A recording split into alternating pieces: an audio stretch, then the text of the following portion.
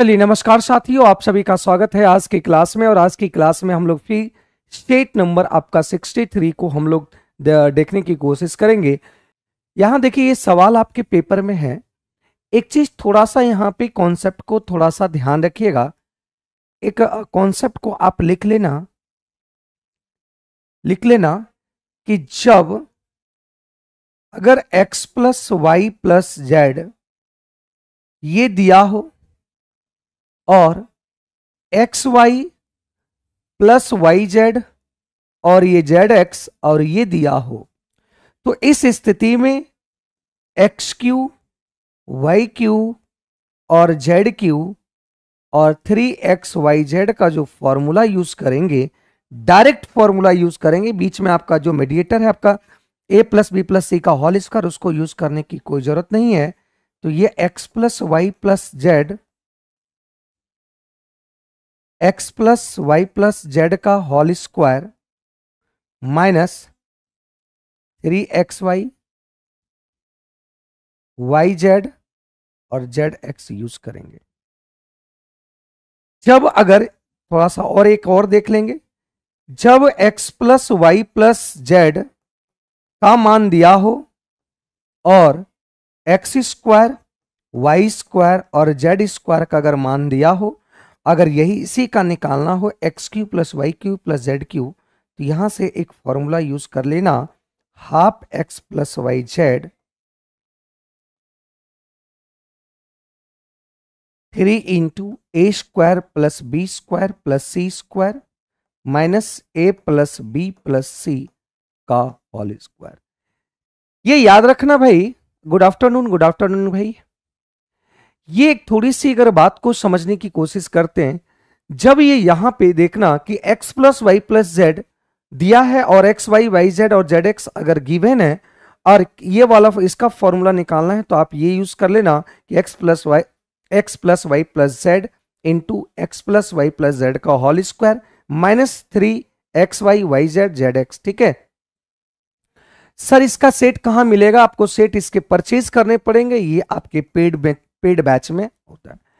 जब ये दिया रहेगा और स्क्वायर में दिया रहेगा तो ये फॉर्मूला, और जब ये दिया है और X, Y Y, Z Z, X दिया तो ये फॉर्मूला। देखो यहाँ क्या दिया हुआ है। यहाँ दिया हुआ है मतलब X plus Y plus Z मतलब ये कंडीशन पहला वाला कंडीशन, ये दूसरा वाला कंडीशन है। तो यहाँ से आपको निकालने की अगर बात करें कि एक्स क्यू, वाई क्यू और जेड क्यू और minus three X, Y, Z अगर निकालना है तो हम लोग क्या करेंगे हम लोग क्या करेंगे? इस फॉर्मूला को यूज़ करेंगे। इस फॉर्मूला को x plus Y plus Z कितना आया? दो इंटू दो का square minus three into X Y Y Z Z X तो यहाँ पे आ गया माइनस एलेवन आपको यहाँ पे इस फॉर्मूला को डायरेक्ट यूज़ करने से क्या होता है कि पूरे आपका जो बीच में जो कैलकुलेशन होते हैं, एक और फॉर्मूला यूज़ होता है, वो करने की ज़रूरत नहीं पड़ता है। डायरेक्ट यहाँ पे आंसर आ जाएगा। देखिएगा। दो दुनी चार, माइनस माइनस प्लस, आपका आ गया कितना? तैतीस। तो ये आ गया टू इंटू सैतीस तो ये आंसर आ गया सेवेंटी फोर। इसका सही उत्तर है B is the right answer, B इसका सही आंसर है, ठीक है? हम्म चलिए, यहाँ पे आ गया सेवेंटी फोर, इसका राइट आंसर हो गया, इस बात को समझिएगा। अगले सवाल की बात करते हैं। अगले सवाल के यहाँ पे कॉन्सेप्ट को देख लेना भाई। बहुत, ये आपका अलजेरा का कॉन्सेप्ट है। यहाँ पे अगर जब भी x plus one by X अगर, x plus one by X अगर a दिया है, अगर इसकी बात q की अगर निकालने की बात हो, q निकालने की बात हो तो यहाँ से A square minus three A हो जाएगा। अगर यहाँ पे एक बात समझिएगा, x minus one by X हो और ये दिया हो अगर ये नेगेटिव वाला अगर निकालना है नेगेटिव में दिया है और नेगेटिव वाला निकालना है तो ए क्यू प्लस यहाँ कर देंगे थ्री ए तो ये कंडीशन आप याद रखेंगे। तो यहाँ से देखो, दिया हुआ है, x plus one by X equal to five दिया है तो X cube plus one by X cube की बात किया गया है। तो देखो, ये पावर वन है, यहाँ क्यू निकालना है तो वैल्यू का क्यू और वैल्यू का तीन गुना घटा देंगे तो ये आपका आ जाएगा 125 में से 15 चल जाएगा मतलब 110 option number A. Option number A, इसका सही आंसर आ जाएगा आएगा। ठीक है? सुरेंद्र और शिशुपाल, ठीक है? आंसर ए आ रहा है। बहुत बढ़िया।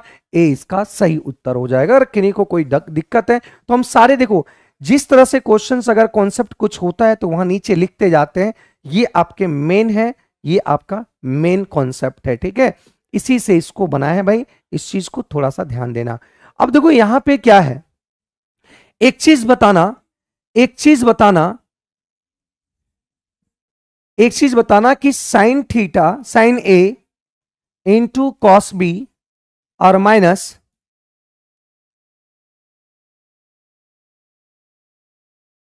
कॉस ए और ये साइन बी ये किसका वैल्यू होता है?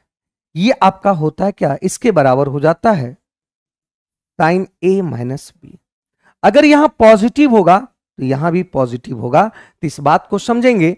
यहाँ पे देखिए, क्या ये ए है? ये बी है? ये ए है? ये बी है कि नहीं? मतलब sine A into cos B minus sine cos A into sine B दिया हुआ है। तो हम कहेंगे कि साइन ए माइनस बी मतलब थ्री थीटा माइनस थीटा ये है। और इसके बराबर, अब बताओ साइन की कौन सी वैल्यू वन बाई टू होती है? साइन की कौन सी वैल्यू वन बाई टू होती है? तो साइन का thirty degree one by two होता है। साइन साइन यहाँ पे है तो थीटा थ्री थीटा यहाँ पे आ गया टू थीटा, और टू थीटा कंपेरिजन आपका थीटा से थीटा को कर लिए, एंगल का कंपेरिजन एंगल से कर लिए तो यहाँ से थीटा बराबर आ गया कितना? पंद्रह, option number C, option number C. Good evening good evening, Abhinandan Bhardwaj, good evening. तो ऑप्शन नंबर सी पंद्रह इसका सही उत्तर होगा। क्या इस बात को समझ पाए भाई? अश्वनी हमें भी ब्लॉक कर दिया गया अड्डा से। चलिए। हाँ 4.0 का ये तिरसठ से तिरसठवा सेट है है ना, प्रिया चौहान? ठीक है। खुशबू जी? ठीक है। पंद्रह इसका आंसर आ रहा है। ठीक है? ये इसका आंसर आ गया। क्लियर है? कहीं पे डाउट है तो बताते जाना। अगर कहीं भी थोड़ा सा डाउट है तो आप इसको कमेंट में बताएँगे कौन से क्वेश्चंस पे डाउट है। अब देखो यहाँ से क्या है। यहाँ पे साइन कॉस है और यहाँ पे साइन कॉस है, यहाँ टेन कॉट है। अब एक बात समझेंगे कि यहाँ पे साइन है, यहाँ भी साइन कॉस है तो उसको भी साइन कॉस बना दो। तो साइन कॉस बनाने के लिए देखिए क्या करेंगे।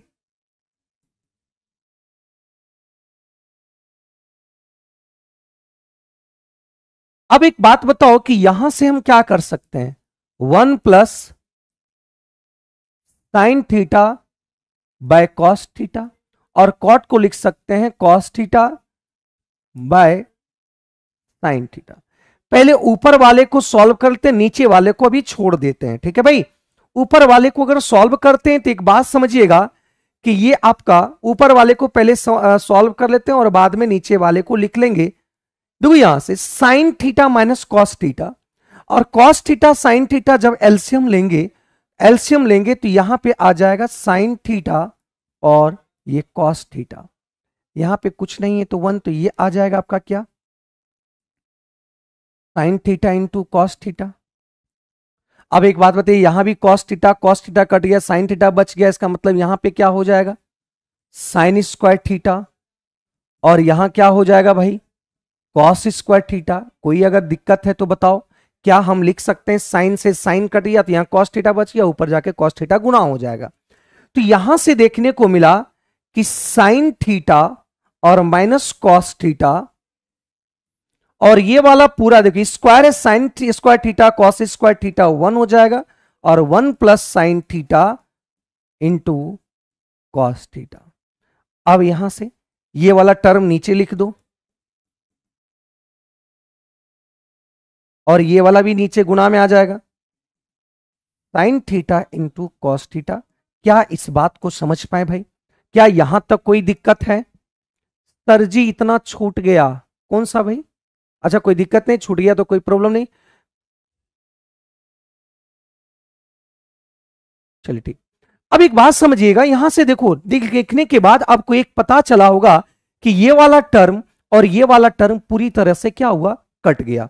और ये वाला टर्म पूरी तरह से कट गया। अब sine theta into cos theta इससे जब डिवाइड होगा, sine theta into cos theta जब इससे डिवाइड होगा, साइन साइन कट जाएगा और यहाँ बच जाएगा आपका कॉस थीटा। और जब sine theta into cos theta जब इससे मल्टीप्लाई डिवाइड होगा तो कॉस कॉस कट जाएगा और यहाँ बच जाएगा क्या? साइन थीटा बच जाएगा और इसका हो जाएगा क्या? सेक थीटा और ये हो जाएगा क्या? Cosec theta. इसका सही उत्तर हो जाएगा ऑप्शन नंबर ए, इसका सही उत्तर हो जाएगा ऑप्शन नंबर ए, इसका सही उत्तर हो जाएगा। अगर यहाँ पे वैल्यू पुटिंग की अगर बात करेंगे तो यहाँ एक ट्रेंगल बना लेंगे।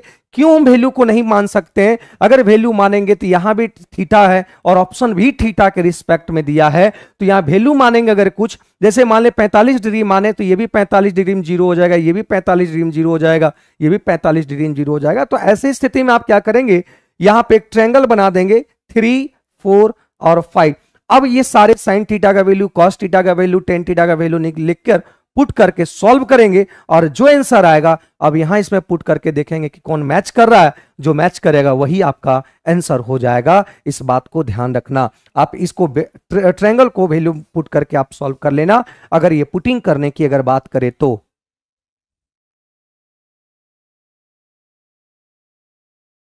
ठीक है? ठीक है भाई? तो ये आप ये करके अगर ना, यहाँ याद रखना कि जब क्वेश्चन थीटा में है और ऑप्शन भी थीटा में रहे तो आप एक काम करना, इस ट्रेंगल बना लेना और ट्रेंगल में तीन, चार, पाँच रख लेना। अब यहाँ से क्या करना साइन थीटा का वैल्यू रख देना कॉस थीटा का वैल्यू रख देना tan theta cot theta sine theta सबका वैल्यू रख लेना। इसका जो आंसर आएगा, अब यहाँ पे देख लेंगे, यहाँ भी पुट करके बाद वो आंसर मैच करना। अगर सेटिस्फाई हो गया तो वही आंसर हो जाएगा आपका, ठीक है? चलिए, बहुत बढ़िया। आगे बढ़ते हैं अगले सवाल पे। एक बात बताइए कि यहाँ दिया हुआ है cos theta cos A minus B root three by two एक बात बताइएगा कि कॉस के कॉस ए माइनस बी अब एक बात बताइए कॉस के कौन से एंगल पे आपका रूट थ्री बाई टू आता है? बताओ तो कॉस के किस एंगल से, किस एंगल को मानते हैं जो रूट थ्री बाई टू देता है? इसका मतलब ए माइनस बी जो होना चाहिए वो थर्टी डिग्री होना चाहिए। इसका मतलब क्या हुआ कि ए माइनस बी आपका रूट थ्री बाय टू है। ये आ गया। क्या कोई दिक्कत है इसमें? बोलो भाई। कि कॉस के किस एंगल का मान आपका रूट थ्री बाई टू होता है? तो थर्टी डिग्री रूट थ्री कहलाता है। मतलब हम यहाँ से कह सकते हैं कि ये आपका जो होगा ए माइनस बी आपका थर्टी डिग्री होगा। क्लियर है? आगे बढ़ते हैं अगले सवाल पे। देखो अगले। यहाँ पे थोड़ा सा सुधार लेना भाई। यहाँ पे टू नहीं होगा रूट रूट थ्री है, ठीक है ना? तो कॉट के कौन से एंगल पे वन बाई रूट थ्री होता है, इसका मतलब साठ डिग्री इसका मतलब यहाँ से आपका आ गया A plus B equal to साठ। तो यहाँ से आपको ए का निकालना है, देखो ए का निकालना है, जब भी अगर माइनस प्लस में दिया है ए का अगर निकालना है तो दोनों को जोड़कर तीस और साठ, नब्बे नब्बे का आधा कर देंगे, ये पैंतालीस हो जाएगा। अगर बी का निकालना ये छोटा है मतलब साठ में से ये दोनों का अंतर कितना? तीस तीस का आधा कर देंगे, ये पंद्रह आ जाएगा, ठीक है? जब भी अगर बात करें a minus B, A plus B का वैल्यू है और a का निकालना है तो दोनों को जोड़कर दो साधा b का निकालना है, दोनों का अंतर करके आधा कर देंगे, ये आ जाएगा। तो अब यहाँ पे देखो, सॉल्व करो a का वैल्यू 45 45 दूनी कितना? 90 b का मान 15 15 तिया कितना? 45 तो ये आ जाएगा कितना? 45 degree option number C option number C ठीक है? क्वेश्चन मिस प्रिंट था, तभी आंसर नहीं आ रहा था। हाँ क्वेश्चन यहाँ पे मिस प्रिंट था, यहाँ पे रूट टू कॉस के कॉट के किसी भी मान के लिए वन बाय रूट टू नहीं होता है। इस हाँ कॉट के पैंतालीस डिग्री का मान ही आपका रूट टू होता है। तो इस बात को थोड़ा सा सुधार लेंगे तो आंसर यहाँ पे आ जाएगा, ठीक है? थोड़ा सा मिस प्रिंट कर है, था, आप उसको सुधार लेंगे। ठीक है? तो यहाँ से थोड़ा सा मिसप्रिंट था, आप यहाँ पे रूट थ्री कर लेंगे तो आंसर आपका पैंतालीस आ जाएगा, ठीक ना? आगे बढ़ते हैं, अगले सवाल पे। अगले सवाल पे, ठीक है? आगे देखिए, यहाँ पे क्या दिया हुआ है? कॉस नाइन डिग्री और साइन इक्यासी डिग्री नाइन और इक्यासी नाइनटी होता है, इसका मतलब यहाँ से कॉस को हम लिख सकते हैं साइन इक्यासी डिग्री बोलिए, लिख सकते हैं ना? क्योंकि हम जानते हैं कि अगर theta one plus theta two अगर ये 90 डिग्री होगा तो sine theta one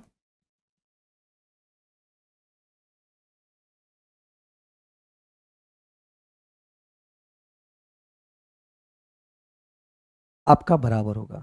sine theta और थीटा वन और, सॉरी बराबर हो जाएगा, ठीक है? तो यहाँ से एक बात समझिएगा। ये हम साइन इक्यासी लिख दिए। क्या हम यहाँ पे इसको लिख सकते हैं? इसको लिख सकते हैं?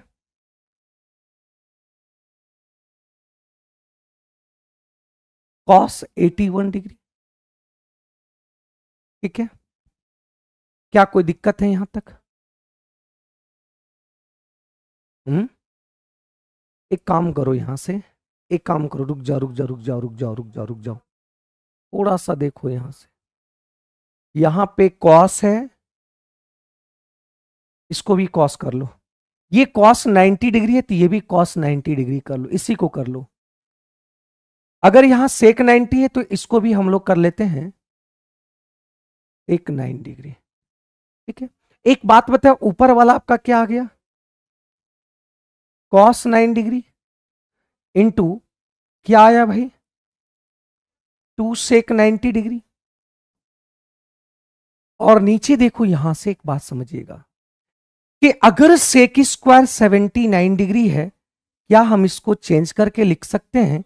क्या इसको हम चेंज करके लिख सकते हैं? Sec square 90 degree. हाँ या ना बोलो? क्या हम इसको कॉशेक को लिख सकते हैं, शेक 90 डिग्री, क्योंकि कॉशेक चेंज होता है किसमें? सेक में। क्लियर है? क्या हम कॉशेक कॉस पंद्रह को लिख सकते हैं? Sine square 75 degree. हाँ या ना? क्लियर लिखे?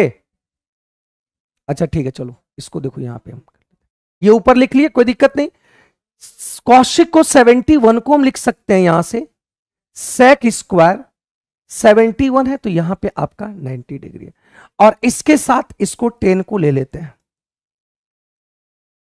चलिए एक स्टेप बढ़ा देते हैं। फिर यहाँ पे cos square cos square 15 degree को क्या हम लिख सकते हैं इसको? साइन स्क्वायर 75 डिग्री और यहाँ से देखो कॉस को ज्यो का त्यों उतार दो। ठीक है? अब एक बात बताओ sec square theta minus tan square theta कितना होता है? ये वन होता है। ये भी साइन स्क्वायर थीटा और कॉस स्क्वायर थीटा कितना होता है? वन होता है। तो two cos ninety degree और टू एक बात बताइए, एक एक यहाँ दो आता है।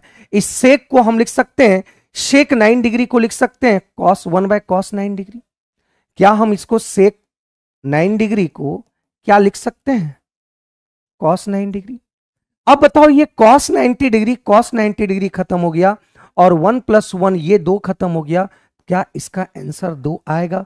ऑप्शन नंबर क्या आएगा? सी इसका सही उत्तर होगा, सी इसका सही आंसर होगा। क्लियर है भाई? बोलो, क्या दिक्कत है यहाँ तक? क्या इस बात को समझे?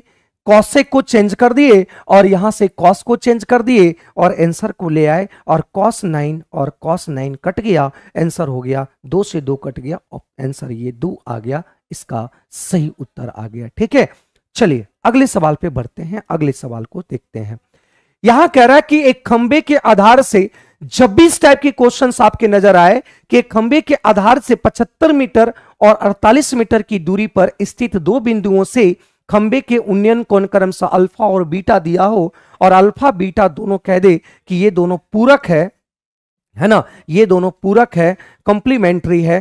तो याद रखना, खंबे की ऊंचाई निकालने के लिए आप एकदम डायरेक्ट अगर निकालना चाहते हैं तो एच स्क्वायर डायरेक्ट अगर निकालना चाहते हैं तो एच इक्वल टू जो आपका बिंदु से दूरी दिया हुआ है, उसको गुना कर लो। पचहत्तर इंटू फोर्टी एट तो पचहत्तर इंटू फोर्टी एट अगर निकालते हैं तो यहाँ से आ गया पच्चीस तिया पचहत्तर और ये सोलह तिया अड़तालीस। मतलब ये पाँच आ जाएगा, तीन आ जाएगा, चार आ जाएगा तो ये आपका पाँच, पाँचों बीस या साठ मतलब ये मीटर आ जाएगा, सिक्सटी मीटर, ठीक है? ये जब भी इस तरह क्वेश्चन है तो डायरेक्ट आप कर सकते हैं, लेकिन तरीका समझिएगा तरीका समझिएगा।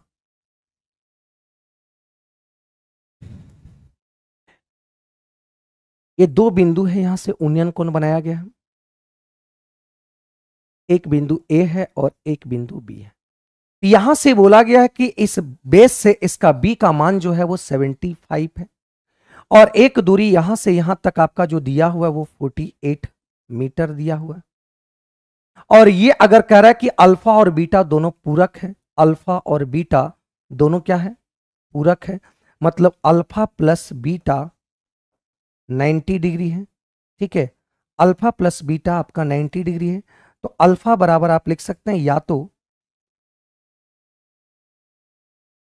बीटा बराबर लिख सकते हैं 90 माइनस अल्फ़ा, ठीक है? एकदम आराम आराम से समझेंगे। सुरेंद्र जी, हम कॉन्सेप्ट से ही बता रहे हैं, यहाँ देखो। अब एक बात समझेंगे कि ये आपका हाइट है। एक समझेंगे कि यहाँ पे अगर हम टेन अल्फ़ा की बात करते हैं, निकालने की अगर बात करते हैं टेन अल्फ़ा तो टेन अल्फ़ा होगा परपेंडिकुलर और बेस 48 अगर यहाँ से बात करते हैं टेन बीटा की अगर बात करते हैं तो टेन बीटा हो जाएगा, यहाँ से देखो टेन बीटा लेंगे तो यहाँ पे हाइट और ये सेवेंटी फाइव है। एक बात समझिएगा, इसको जब हम कैलकुलेट करेंगे टेन बीटा बीटा का मान देखो क्या है? टेन नाइनटी माइनस अल्फ़ा और equal to H seventy five. क्या कोई डाउट है यहाँ तक? अब एक बात बताओ 90 माइनस अल्फ़ा तो 90 माइनस अल्फ़ा, टेन आपका किसमें चेंज हो जाएगा? कॉट अल्फ़ा में, और ये H seven, H by seventy five आ गया।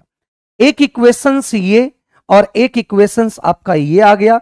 तो दोनों इक्वेशंस को गुना कर दो, दोनों इक्वेशंस को गुना कर दो वन इक्वेशन वन और इक्वेशन दो को दोनों गुना कर दिए तो कॉट अल्फ़ा और टेन अल्फ़ा हो जाएगा वन, और इधर जब गुना करेंगे तो एच वाई फोर्टी एट और एच वाई सेवेंटी फाइव तो h गुना एच एच स्क्वायर और ये आ जाएगा आपका पचहत्तर गुना अड़तालीस तो इसका आप रूट निकाल दिए, वहाँ देखो रूट निकाले मतलब ये 60 मीटर आंसर आ जाएगा 60 मीटर इधर राइट आंसर इसका सही आंसर होगा। क्या इस बात को समझ पाए भाई? आप अगर डायरेक्ट अगर निकालने की बात करें, जब भी याद रखना कि खंबे से आधार से 75 मीटर और 48 मीटर की दूरी पर दो स्थित बिंदु है, और खंबे का उन्नयन कोण अल्फ़ा और बीटा और अल्फ़ा बीटा 90 डिग्री दिया हुआ है। मतलब अल्फ़ा प्लस बीटा, ये 90 है मतलब पूरक है कंप्लीमेंट्री है मतलब अल्फ़ा प्लस बीटा जब भी 90 डिग्री की अगर बात करें और हाइट की निकालने की बात करें तो हाइट क्या करना है? एच बराबर क्या करना ये जो बिंदु आपका बिंदु से दूरी है, उसको गुना करके रूट निकाल देना। इसका आंसर आ जाएगा भाई, याद रखना। ठीक है, आप डायरेक्ट भी निकाल के आगे बढ़ सकते हैं, लेकिन ये कौन, इसको जानने के लिए आपको ये कॉन्सेप्ट क्लियर होना चाहिए। ये कॉन्सेप्ट अगर क्लियर होगा, तभी जाके ये आंसर को आप निकाल पाओगे। ठीक है भाई? चलिए, आगे बढ़ते हैं अगले सवाल पे। चलिए थैंक यू भाई। अब कह रहा है कि यहाँ पे ट्रैंगल एबीसी में ये भी एक कॉन्सेप्ट है, ध्यान रखिएगा। देखिए कॉन्सेप्ट क्या है। एबीसी एक ट्रैंगल है। ज्योमेट्री का सवाल है, ये 78 डिग्री है।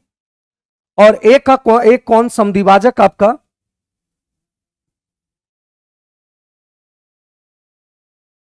ठीक है, कौन समद्विभाजक कहाँ पे है?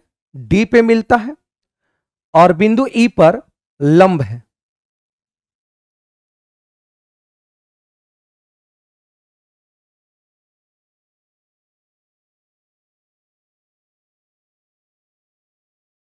ई डी पे मिलता है और ये लंब है क्या? ई e। अब एक बात समझिएगा, जब भी एक समझिएगा ट्रैंगल में एक आपका एंगल बायसेक्टर डी पे मिल रहा है और इसका लंब जो है वो मिल रहा है ई पे। और ये एंगल अगर निकालने की बात करें मतलब angle E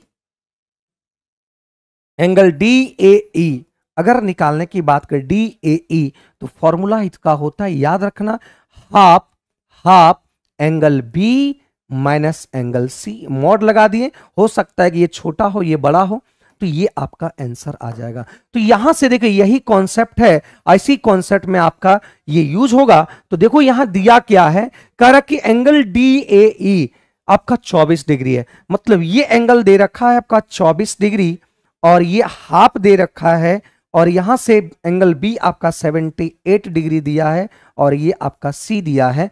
तो ये आपका 48 आ जाएगा। 48 में से यहाँ पे आ जाएगा आपका 30 डिग्री।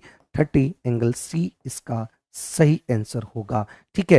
एंगल सी इसका सी मतलब 30 डिग्री द राइट आंसर इसका 30 डिग्री आएगा। एंगल आपका आ जाएगा। ठीक है? अरे चौबीस दुनिया अड़तालीस तो अड़तालीस, अठहत्तर में से अड़तालीस जाएगा तो आपका तीस हो जाएगा। ठीक है ना? तीस हो जाएगा। आप कैसे थर्टी टू लिखे भाई? थर्टी टू कैसे लिखे? ओ, सुरेंद्र? हाँ ठीक है, खुशबू, कृष्णा, मिथुन चलिए, बहुत बढ़िया। ठीक है, कोई बात नहीं।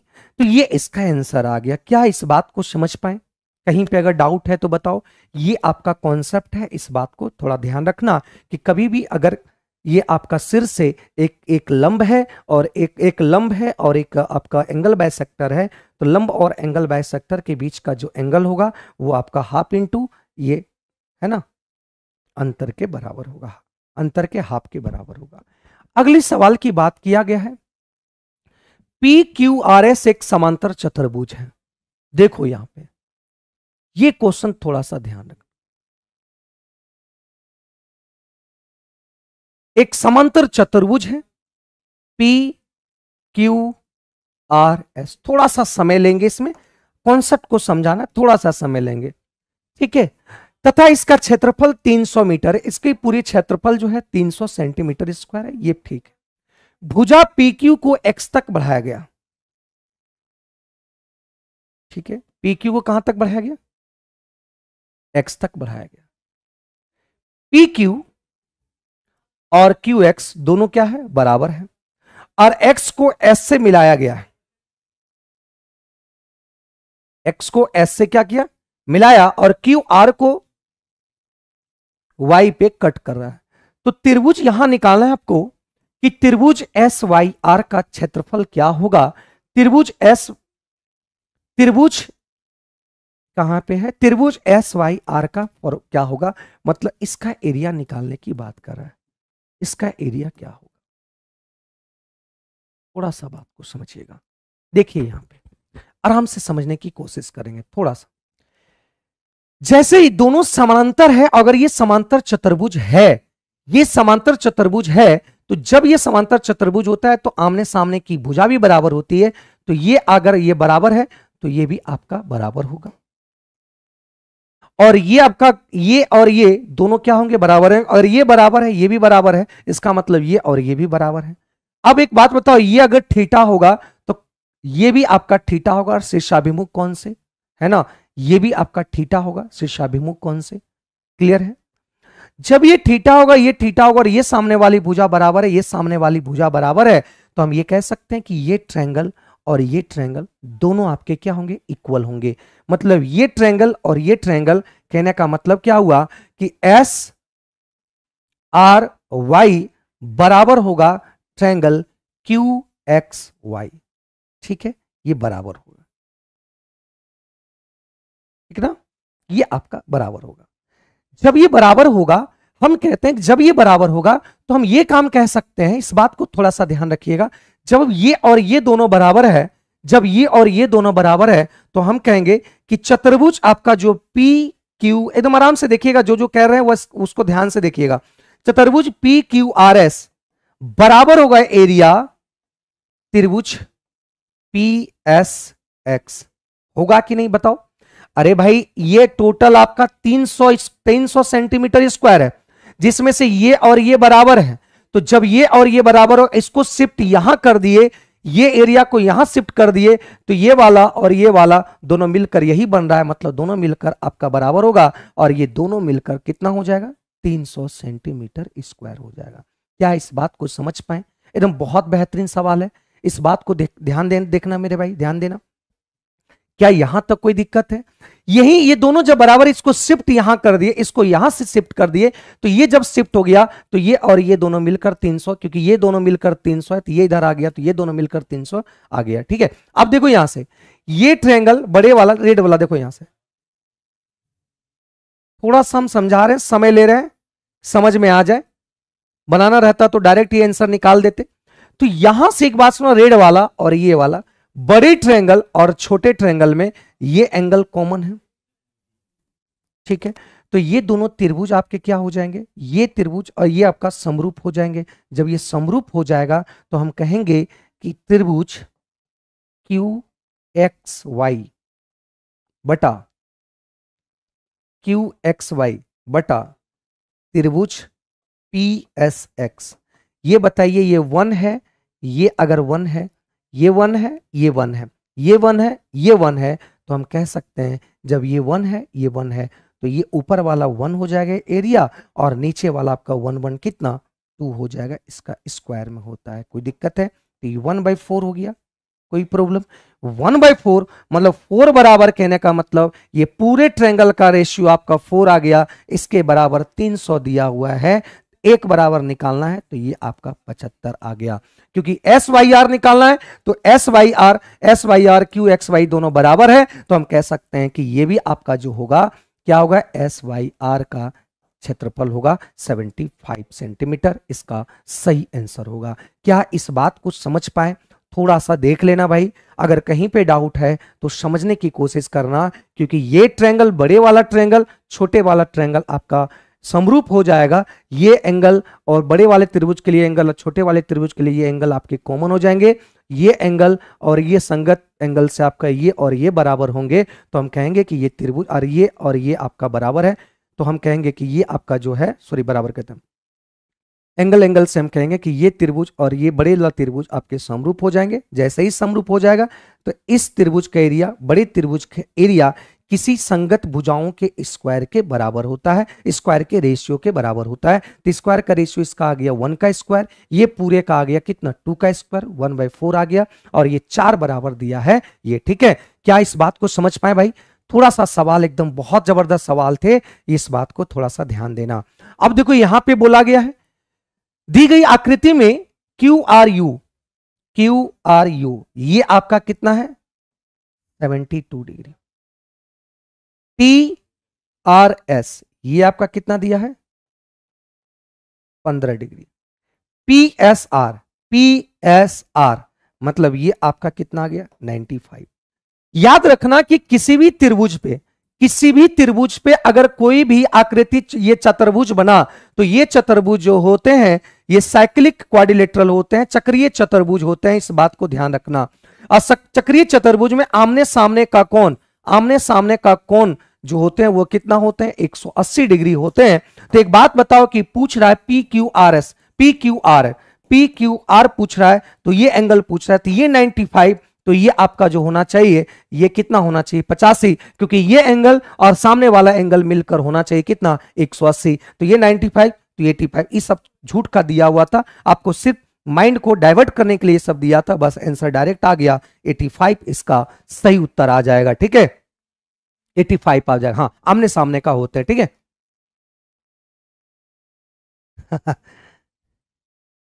अंकिता कह रही है कि, सर प्लीज़ रेड यूज़ नहीं कीजिए। अच्छा ठीक है रेड यूज़ नहीं करेंगे? चलिए। हाँ 85 इसका सही आंसर हो गया। ये सिर्फ़ आपको क्या किया है? बाह्यात रूप से दिया हुआ है जो कि आप टेंशन लो, इसको यूज़ नहीं करे हैं तो आप टेंशन में रहेंगे। तो इसका कोई यूज़ नहीं था इस क्वेश्चन बनाने का। डायरेक्ट आंसर आ गया, ठीक है? अब एक थोड़ा सा थोड़ा सा एक समझने की कोशिश करना। यहाँ पे एक कॉन्सेप्ट है, ठीक है? एक मिनट हाँ ठीक है 85 आएगा। ठीक है। देखिए।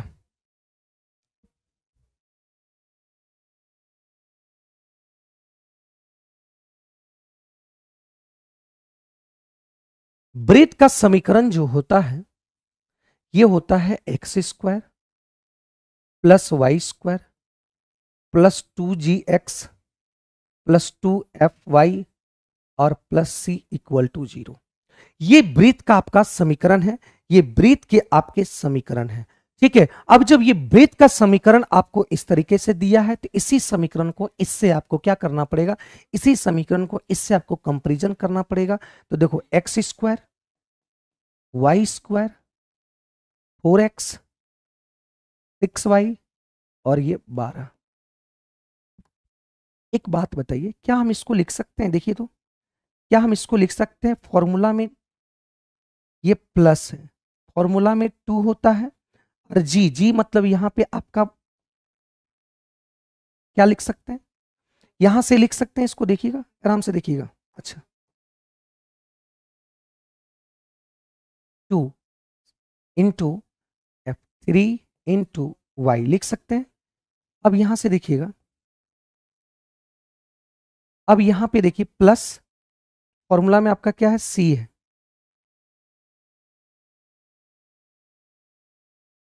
यहाँ पे क्या है? माइनस बारह। तो इसको लिख सकते हैं। क्या अब देखो, कंपेरिजन हो जाएगा कि नहीं? अब कंपेरिजन क्या होगा कि जय जी बराबर आपका हो गया। जी बराबर हो गया माइनस टू। एफ़ बराबर क्या हो गया? थ्री। और सी बराबर हो गया कितना? माइनस बारह। ये एक फॉर्मूला होता है। ठीक है? ये एक फॉर्मूला होता है और इसी फॉर्मूले को यूज़ करना होता है। तो यहाँ से आपको त्रिज्या निकालना होता है। तो त्रिज्या निकालने का एक फॉर्मूला होता है। आप ध्यान रखना रेडियस निकालने का एक फॉर्मूला होता है। इसका जी का स्क्वायर प्लस एफ़ का स्क्वायर और माइनस सी होता है। जी का स्क्वायर दो दुनी चार। जी का स्क्वायर यहाँ पे रखेंगे तो दो दुनी चार।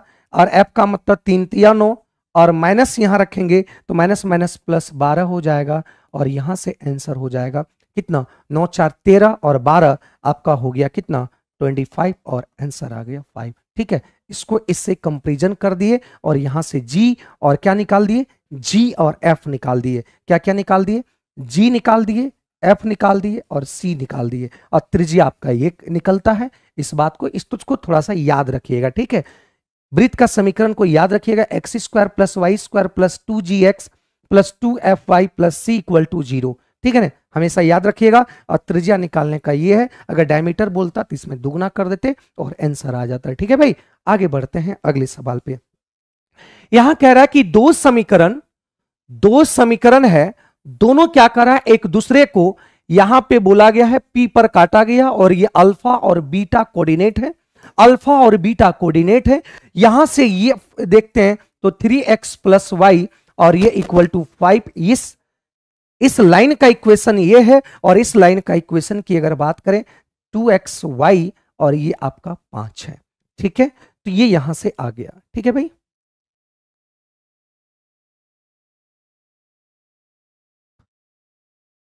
अब जब यहाँ से हम कैलकुलेशन करेंगे तो यहाँ से अगर कैलकुलेशन करते हैं दोनों निकालने की अगर बात करते हैं तो ये कट गया, पाँच पाँच आ गया दस, और तीन दो पाँच एक्स तो यहाँ से एक्स की वैल्यू आ गया कितना? दो आ गया। और एक्स की वैल्यू दो आया कहीं भी दे, दो पुट कर देना है एक्स की वैल्यू मतलब एक्स की वैल्यू अगर दो पुट करते हैं तो दो पुट करेंगे, दो दुनी चार उधर जाएगा तो एक बचेगा। मतलब वाई बराबर आपका आ गया कितना? Minus one. इसका मतलब क्या हुआ? जो अल्फ़ा और बीटा है, अल्फ़ा मतलब दो एक्स है, और बीटा बराबर वाई मतलब ये माइनस वन है तो ये आंसर आ गया। ठीक है? मतलब अल्फ़ा की अगर बात करें तो थ्री अल्फ़ा, तीन दुनी छह, और बीटा की बात करें तो माइनस वन, ये आ गया आंसर आ गया ऑप्शन नंबर बी इसका सही उत्तर आएगा। ठीक है? ठीक है? तो आंसर पाँच आ जाएगा इसका भी भाई। कोई डाउट है यहाँ तक? क्लियर है? तो इसका पाँच आ जाएगा। क्योंकि ये दोनों समीकरण, ये दोनों लाइन एक दूसरे को यहाँ पे कट कर रहा है। जब ये कट कर रहा है तो दोनों एक्स और वाई का वैल्यू सेटिस्फाई करेगा। और एक्स वाई वैल्यू जो होगा अल्फ़ा और जो वैल्यू आएगा, उसको हम अल्फ़ा बीटा बोले तो यहाँ मतलब दो और माइनस वन ये अल्फ़ा बीटा है और उसमें पुट कर दिए। तो आंसर आपके पास आ गया। कल भी शायद ये सवाल था इस टाइप के। देखे होंगे।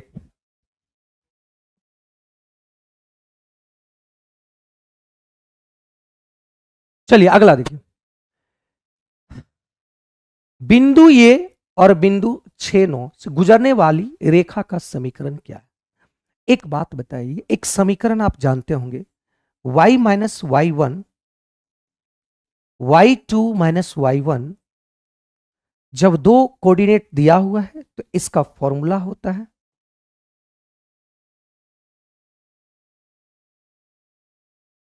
ठीक है, ये आपका समीकरण होता है। क्या जब दो बिंदु दिया रहेगा तब? मतलब यहाँ से x1 और y1 का बिंदु दिया हुआ है। ठीक है, और x2 और y2 का यहाँ पे कोऑर्डिनेट दिया हुआ है सिक्स और नौ। बस फॉर्मूला में पुट कर दो आंसर आपका आ जाएगा। तो फॉर्मूला में पुट करने का मतलब क्या हुआ? y माइनस वाई वन तो यहाँ से y मत वाई वन की बात की है तो ये आपका तेरह आ गया तो माइनस आपका कितना हो गया? तेरह। वाई टू की अगर बात करें तो वाई टू आपका माइनस ठीक है। वाई टू की अगर बात करें तो माइनस नौ माइनस आपका तेरह। और एक्स टू की अगर बात करें तो ये छ और ये माइनस है तो माइनस माइनस प्लस हो जाएगा आठ। और यहाँ से x की अगर बात करें तो यहाँ x x1 की बात करें तो x1 कितना है? माइनस माइनस प्लस आठ। ठीक है? अब यहाँ से निकाल दो। इसमें तो ज़्यादा कुछ है नहीं। तो y माइनस ये आ गया कितना? माइनस चार, आठ छ चौदह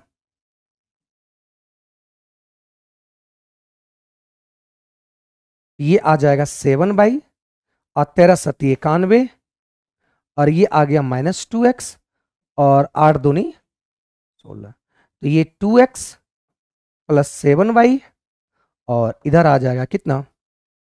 पचहत्तर ना? यही आंसर आ गया। क्या कोई डाउट है? ये option number B option number B ठीक है? ठीक है भाई? नमस्ते अंजलि। तो ये इसका आंसर आ गया। कोई डाउट है यहाँ तक? नो सर बिल्कुल डाउट नहीं है। चलिए, बहुत बढ़िया। चलिए, बहुत अच्छी बात है। आगे बढ़ते हैं अगले सवाल पे। यहाँ पे बोला गया कि पैंसठ मीटर और बहत्तर मीटर और संतानवे मीटर भुजा वाले त्रिभुज त्रिभुजाकार मैदान का क्षेत्रफल मतलब ये एक विषमबाहु त्रिभुज है है ना? एक स्केलन ट्रैंगल है। मतलब ए, आ, इसका जो भुजा है वो अलग अलग है और स्केलन ट्रैंगल है और उसे उस आयताकार के पार का क्षेत्रफल के बराबर है जिनकी भुजा का अनुपात ये दिया हुआ है।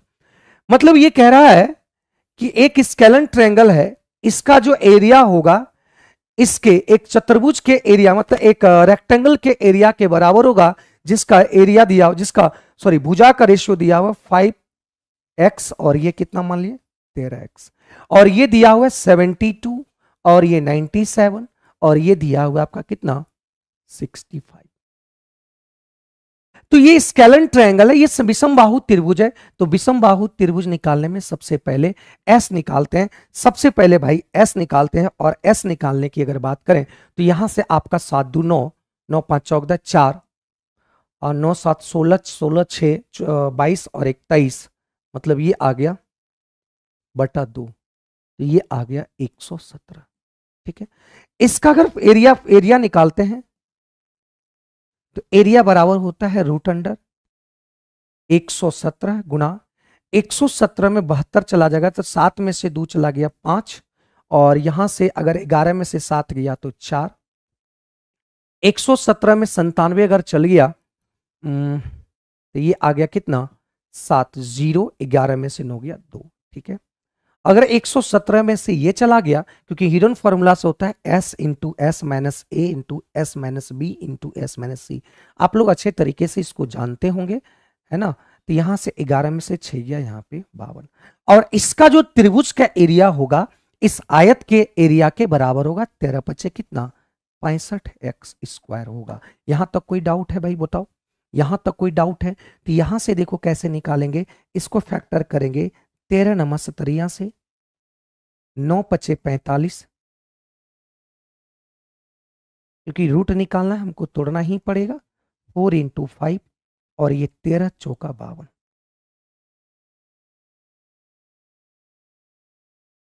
तो तेरह तेरह रूट के अंदर है तो एक बाहर आ गया तेरह। नौ नौ रूट के अंदर है तो एक बाहर आ जाएगा। पाँच पाँच अंदर है तो एक पाँच आ गया और चार चार है तो एक बाहर आ गया। मतलब इसका एरिया इतना आ गया, लेकिन क्वेश्चन यहाँ पे भी कर रहा है इकसठ स्क्वायर है। तो तेरह पचे पैंसठ और ये पाँच से पाँच गडिया नौ चौक छत्तीस मतलब एक्स बराबर आ गया कितना?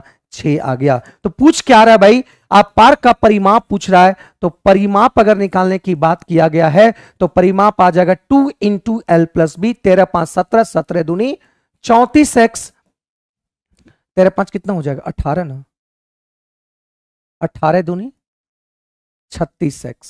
अरे two into L plus B होता है ना परिमाप, two into L plus B तो तेरह पाँच कितना हो गया? अठारह दूनी, छत्तीस मतलब छत्तीस गुना एक्स की वैल्यू करेंगे यहाँ पे छह मतलब छह चक छत्तीस ऑप्शन नंबर सी इसका सही उत्तर आ जाएगा, ठीक है? 216 फाइनली इसका आंसर आ जाएगा। सर इतना लंबा करना पड़ेगा, कोई शॉर्ट मेथड नहीं है तो कोई शॉर्ट मेथड तो इसमें नहीं है भाई। हम्म?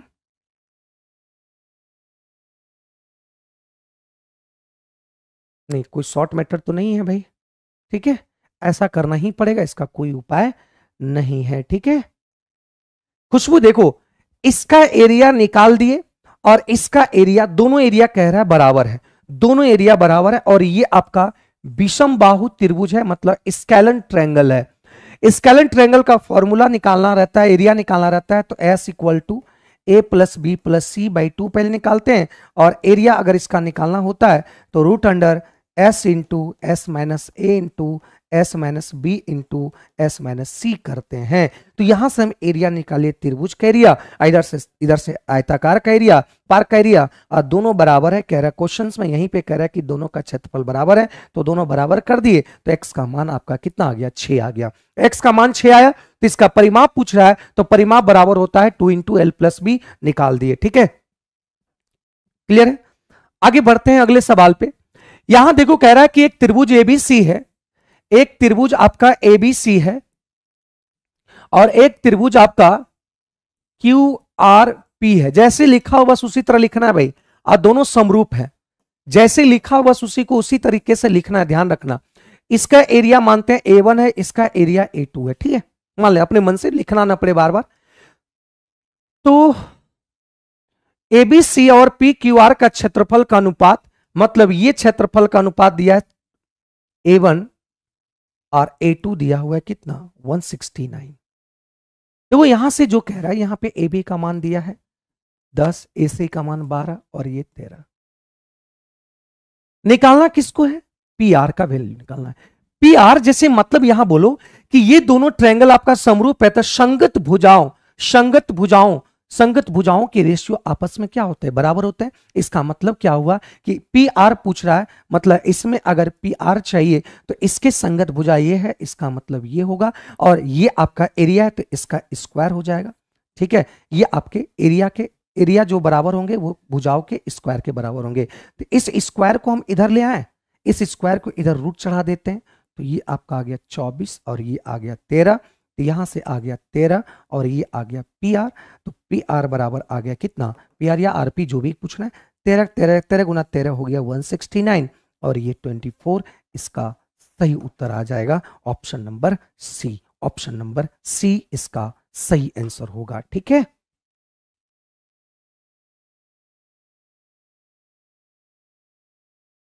क्लियर है?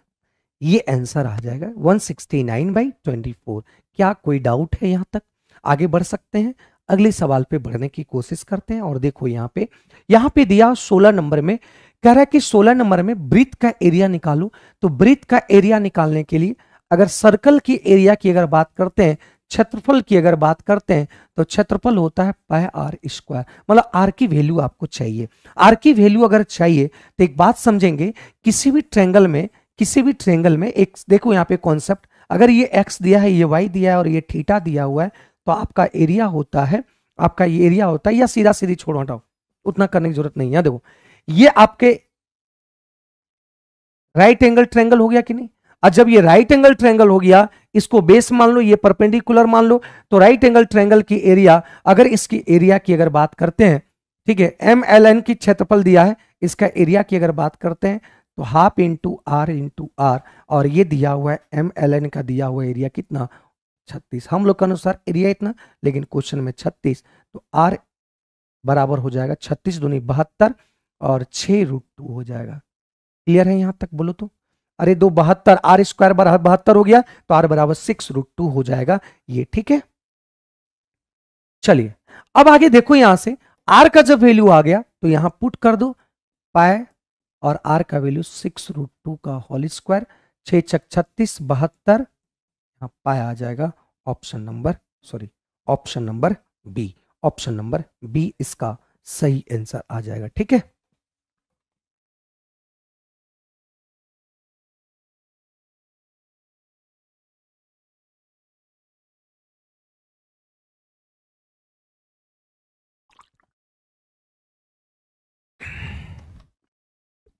Neepu Kumari good good afternoon चलिए अगले सवाल पे बढ़ते हैं अगले सवाल को देखते हैं। यहाँ दिया है क्या? कह रहा कि 13,824 आयतन वाले एक ठोस घन की समान आयतन वाले आठ घनों में काटा जाता है। ठीक है? तो सबसे पहली बात करते हैं कि इतना घन वाले है तो इसकी भुजा निकाल लो। मतलब एक एक आपका मान लेते हैं बड़ा एक आयतन वाला घन है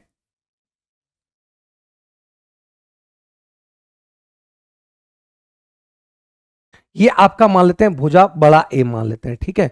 अब ए की अगर निकालने की बात करते हैं, इसका आयतन ए क्यू होता है और इसके बराबर दे रखा है कितना? ये दे रखा है। तो ए बराबर आपका आ जाएगा कितना?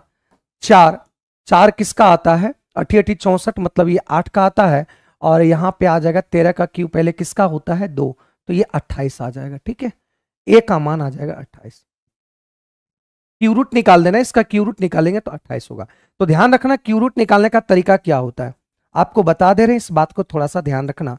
क्यू रूट अगर निकालना है तो यूनिट डिजिट को देखो, ये किस वैल्यू का, यूनिट डिजिट में किसका क्यूब करेंगे, चार आएगा मतलब एक ही संख्या, वो आठ आएगा, इसी का क्यूब होगा चार।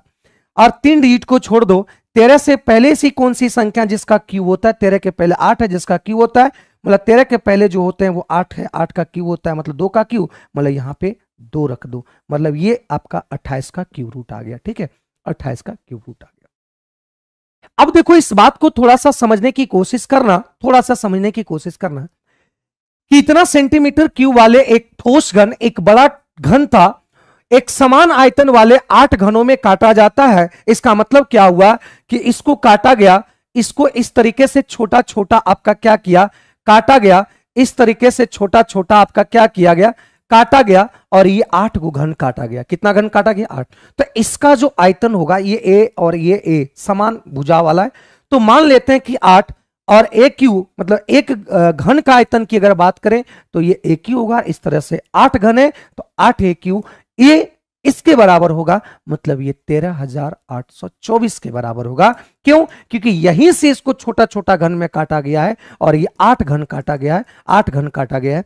तो आठ घनों का आयतन, ये बड़े घन के आयतन के बराबर होगा तो ये आठ से कट जाएगा और आठ से कटेगा तो यहाँ से आप अगर बात करें आठ इकाई आठ आठ पाँच तेरह, आठ सती छप्पन, दो चौबीस, आठ दूनी सोलह और ये इतना। तो 728 आप जानते होंगे, ये थोड़ा सा याद रखिएगा, थोड़ा सा 728 होता है आपका 12 का क्यूब होता है ये भी आप थोड़ा सा ध्यान रखना। किसका क्यूब होता है? 12 का क्यूब होता है। ये आप अच्छे तरीके से याद रखेंगे, तब जाके आपके क्वेश्चन क्या हो पाएँगे भाई? सॉल्व हो पाएँगे। इस चीज़ को ध्यान से ध्यान रखना, ठीक है? कोई दिक्कत है यहाँ तक तो बताओ। कोई प्रॉब्लम है यहाँ तक तो बताओ भाई। बोलिए। ठीक है? ए बराबर आ गया बारह। अब कह रहा है कि मूल घन की पृष्ठीय क्षेत्रफल। तो मूल घन की पृष्ठीय क्षेत्रफल तो मूल घन की पृष्ठीय क्षेत्रफल बोला है मतलब वक्र पृष्ठ क्षेत्रफल पूछ रहा है।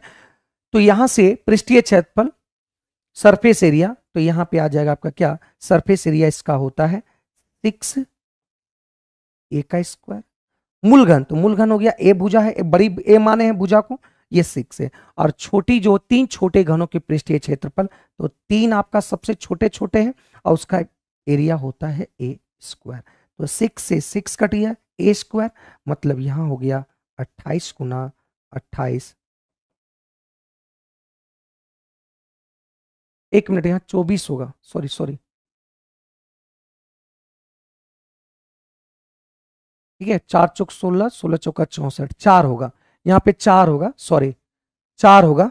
हम यहाँ पे स्क्वायर कर लिए थे, चार होगा। चार का क्यू करेंगे? तभी चार यूनिट डिजिट आएगा। तो यहाँ से तीन और ए स्क्वायर मतलब बारह इंटू बारह। तो ये आपका रेशियो निकालना है। क्या निकालना है? रेशियो तो बारह दुनी बारह दुनी चौबीस, ये बारह दुनी चौबीस, ठीक है? ये आपका चार ती आ गया मतलब यहाँ से आ गया। कहाँ पे गलती कर दी भाई?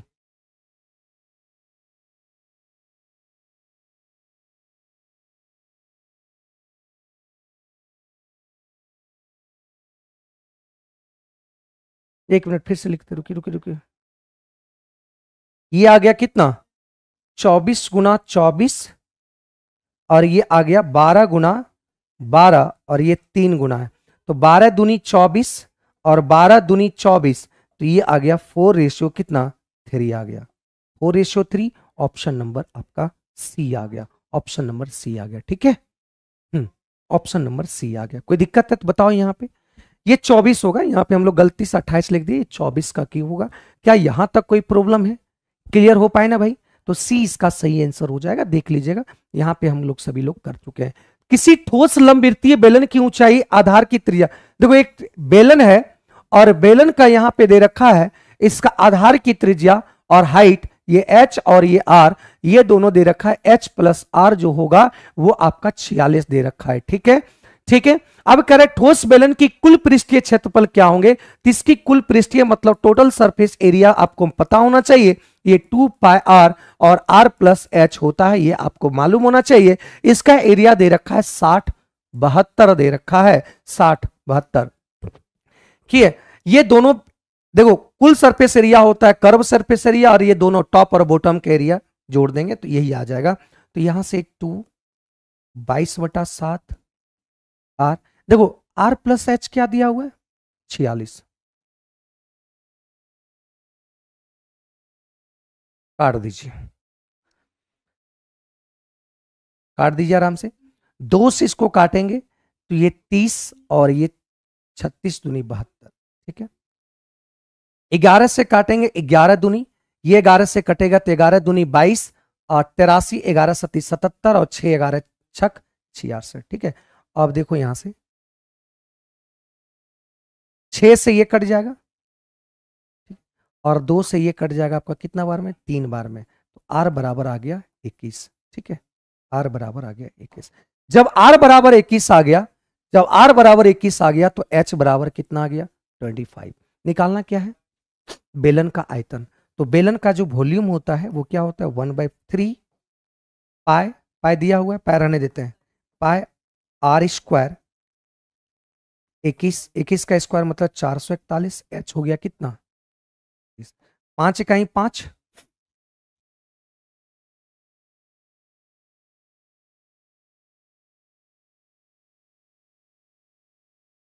यहाँ से अगर काटेंगे इसको तो कट कर जो भी आएगा तो एक यहाँ पे आएगा यूनिट यूनिट डिजिट आपका क्या रहेगा?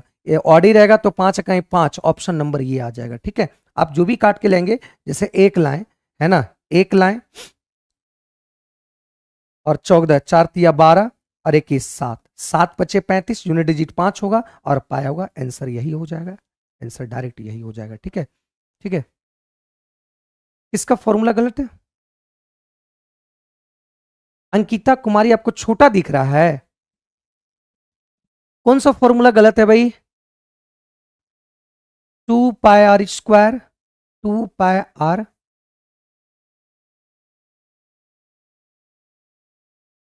ठीक तो है। कहाँ पे दिक्कत हो रहा है? कौन का होता है ये?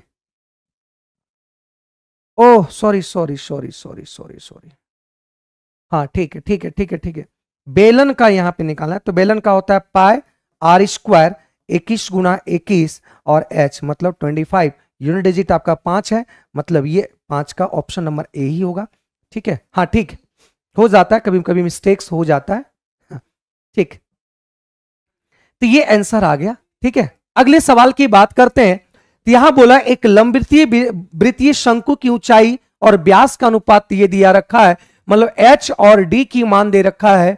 आपका क्या? सिक्स रेशियो फाइव ठीक है। अगर हम बात करें यहाँ से एच और आर को निकालने की बात करें तो ये एक्स एक्स मान लो तो ये सिक्स एक्स और ये आ जाएगा आपका कितना? पाँच एक्स बाई टू आएगा। आएगा कि नहीं? अब देखो, यहाँ से बोला गया, इसका आयतन जो है, एक शंकु का आयतन तो शंकु का आयतन होता है क्या? बाईस बटा सात, वन बाय थ्री बाईस बटा सात, आर स्क्वायर मतलब पाँच पचे पच्चीस एक्स स्क्वायर और दो दूनी चार, आर का स्क्वायर यही होता है, और एच आपका सिक्स एक्स है, और तो हम लोग के अनुसार आयतन इतना, लेकिन क्वेश्चन में आयतन दे रखा है कितना? ये दे रखा है, ठीक है?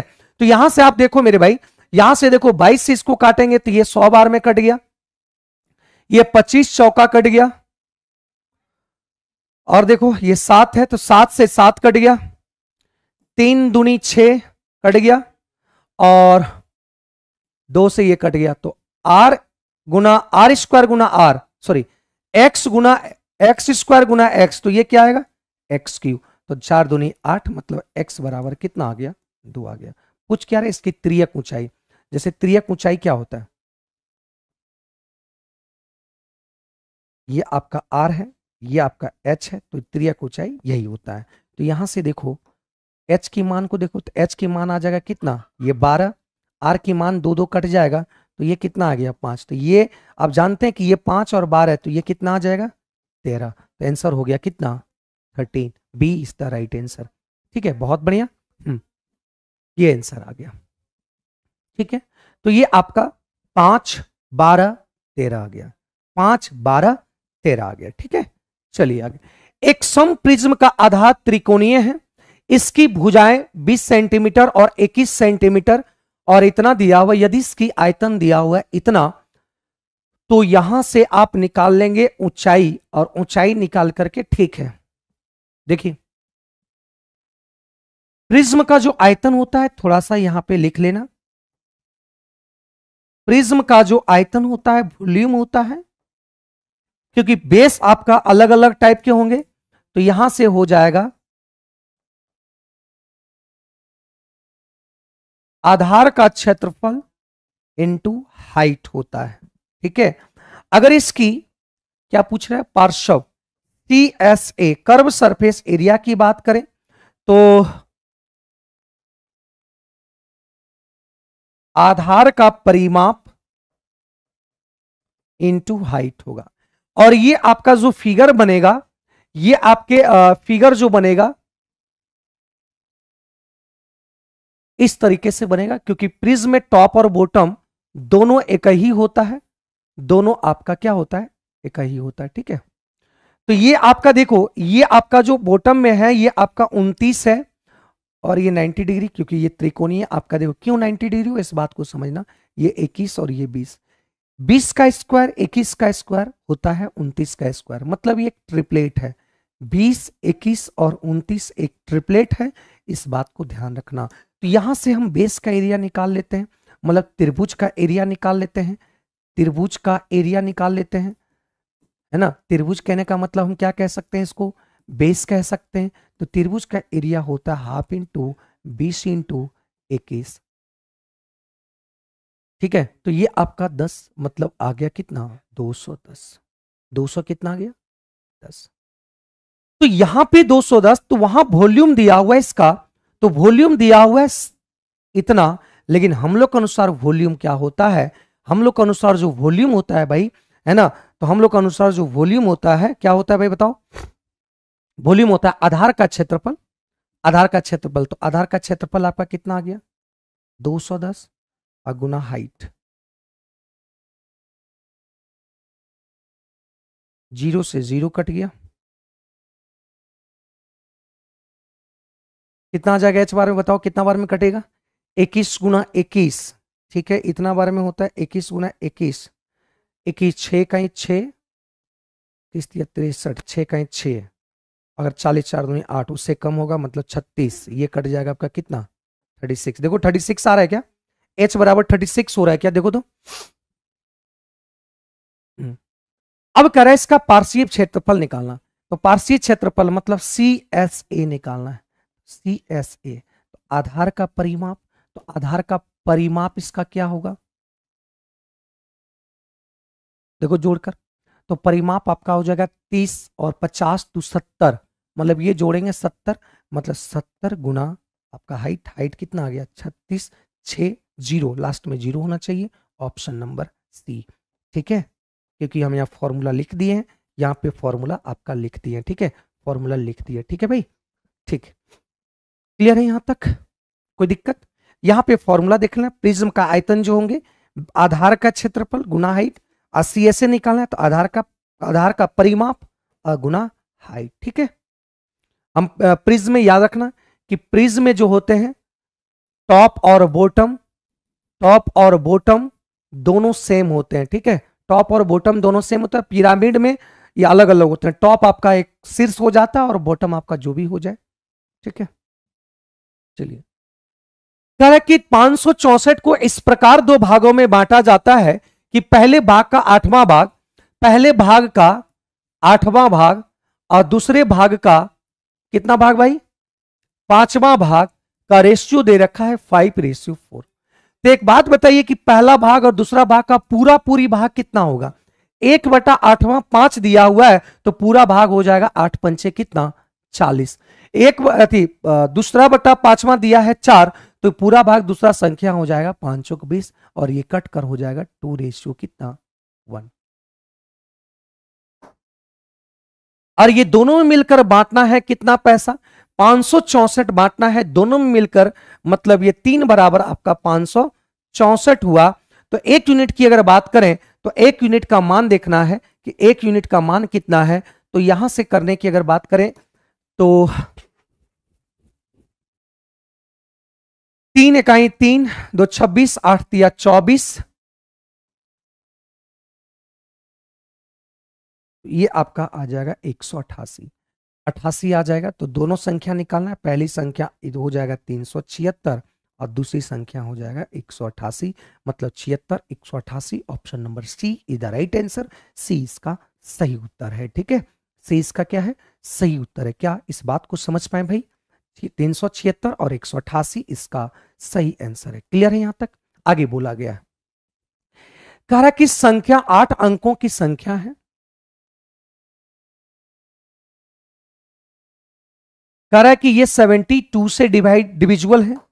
अगर ये 72 से डिविजुअल है, कोई संख्या 72 से अगर डिविजुअल है, इसका मतलब इसका फैक्टर 8 और 9 से भी डिविजुअल होगा।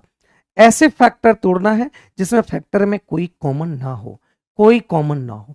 तो आठ से डिविजुअल भी होना चाहिए वह संख्या आठ से भी डिविजुअल होना चाहिए।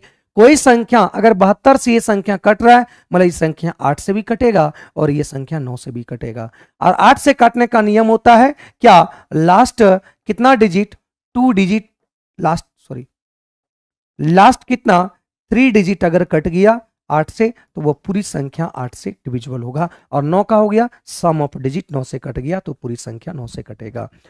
तो आठ से पहले कटाओ तो ये तीन संख्या अगर आठ से कट गया तो आठ से कटने का मतलब जब इसको आठ से डिविजुअल करेंगे, जब इसको आठ से डिविजुअल करेंगे तो आठ या चौबीस, आठ या चौबीस, कट जाएगा तीन बार में, चौबीस, और यहाँ यहाँ आ गया कितना? सात। तो सात यहाँ आ गया, यहाँ शेषफल सात बचा और यहाँ वाई बचा। वाई का मान क्या रख दें? जो आठ से कट जाएगा, इसका मतलब वाई का मान दो रखेंगे तो बहत्तर आएगा, और जब बहत्तर आएगा तो वो संख्या किससे कटेगा? आठ से कट जाएगा।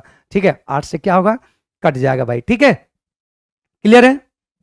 हाँ आठ से ये कट जाएगा अब एक बात समझो, नौ से काटने की अगर नियम की मैं बात करूँ, नौ से काटने की बात करूँ तो नौ होता है अंकों का योग।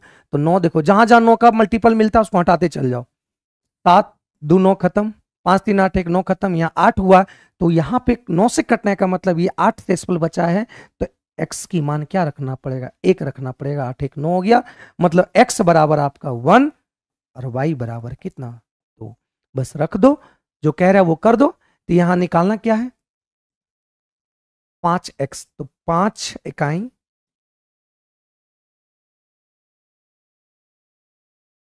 माइनस आंसर बी, इसका सही उत्तर आ जाएगा, ठीक है?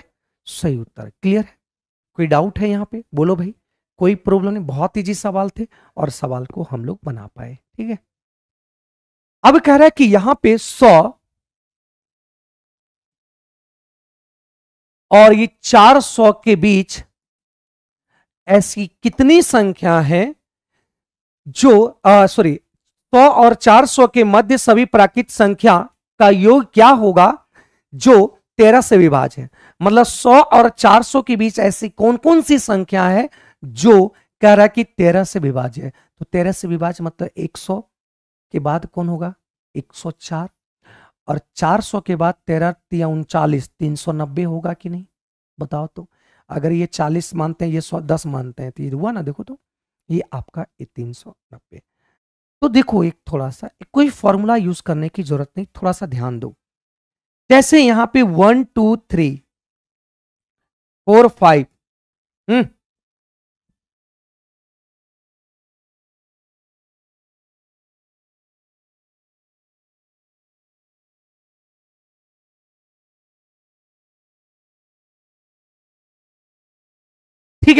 तो यहाँ पे एक बात समझिएगा एवरेज इसका कितना आ गया? एवरेज आपका तीन होगा। है ना? देख लो एवरेज तीन होगा। अब जब एवरेज तीन आया, जब एवरेज को तीन आया और इसके संख्या के टर्म से एक, दो, तीन, चार, पाँच, अगर ये पाँच से गुना कर देंगे तो ये पाँच दिया पंद्रह आ गया। मतलब ये एवरेज है और ये आपका नंबर है और एवरेज को जब नंबर से गुना कर देते हैं तो योगफल आ जाता है। क्या ये इस बात को समझ पाए? योगफल आ जाता है। तो यहाँ पे भी क्या करेंगे? एवरेज निकाल दो। तो एवरेज यहाँ पे एवरेज अगर निकालते हैं तो a first term plus last term कब? जब ये सीरीज़ में रहेगा तब। इसको किससे? दो से डिवाइड कर दो। तो यहाँ से आ जाएगा कितना? 400 ये चार सौ चौरानवे आएगा और दो से डिवाइड कर देंगे। तो दो, और यहाँ पे आ गया दो, चार दुनी आठ, ये आ गया टू फोर सेवन। क्या आ गया? टू फोर सेवन आ गया। ठीक है टू फोर सेवन आ गया। अब यहाँ पे हम लोग योगफल की अगर बात करते हैं तो योगफल निकालने की अगर बात करते हैं तो योगफल में अगर देखने की बात करते हैं तो योगफल में निकालते हैं तो योगफल में एवरेज आ गया इतना। अब नंबर ऑफ़ टर्म चाहिए। तो नंबर ऑफ़ टर्म निकालने की अगर बात करें तो यहाँ से दो तरीके से निकाल सकते हैं। एक 390 को तेरह से डिवाइड करो तेरह तिया उनचालीस मतलब ये तीस आ गया। और यहाँ तक बताओ, सौ से पहले, सौ से पहले इक्यानवे है, उसको तेरह से डिवाइड करो, तेरह सत्ती इक्यानवे, तीस में से सात चल गया मतलब संख्या आपका आ गया तीन। सात तिया इक्कीस ऑप्शन नंबर आपका यूनिट डिजिट वन है मतलब ऑप्शन नंबर एक आ जाएगा, इसका सही उत्तर आ जाएगा, ठीक है? ये कॉन्सेप्ट है, इसको ध्यान से देखना, ठीक है भाई? हाँ ठीक है? तो ये इसका सही उत्तर आ जाएगा, ठीक है? हम यहाँ पे एस एन फॉर्मूला यूज़ नहीं करना पड़ेगा। एस एन फॉर्मूला यूज़ नहीं करना पड़ेगा, है ना? एस एन फॉर्मूला को यूज़ नहीं करना पड़ेगा, नहीं तो आप ये फॉर्मूला को यूज़ करना पड़ेगा। क्या? एस एन बराबर यहाँ पे आ जाएगा एन बाई टू और ये आ जाएगा two a plus n minus one और ये टी ठीक है? वो यूज़ करने की यहाँ पे हम नहीं ज़रूरत समझे और डायरेक्ट ही हम एवरेज को एवरेज निकाल लिए और नंबर ऑफ़ टर्म निकाल दिए और गुना कर दिए। कोई डाउट है? बोल दो।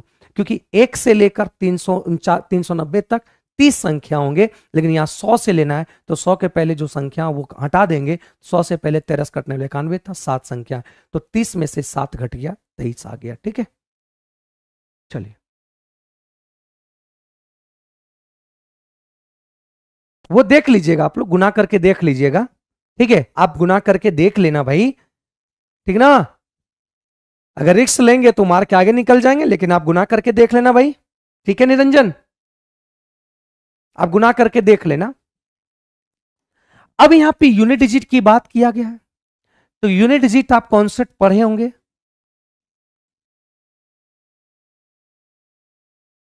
यहाँ पे यूनिट डिजिट बोला तो यूनिट डिजिट से मतलब रखेंगे। तीन पर पावर चौबीस। यूनिट डिजिट से मतलब रखेंगे। और यहाँ पे आपका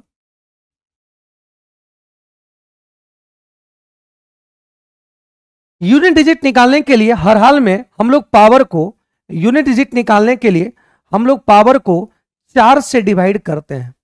है ना? पावर को चार से डिवाइड करते हैं और जो रिमाइंडर आता है जो रिमाइंडर आता है, उसको फिर हम वापस पावर पे चढ़ा देते हैं।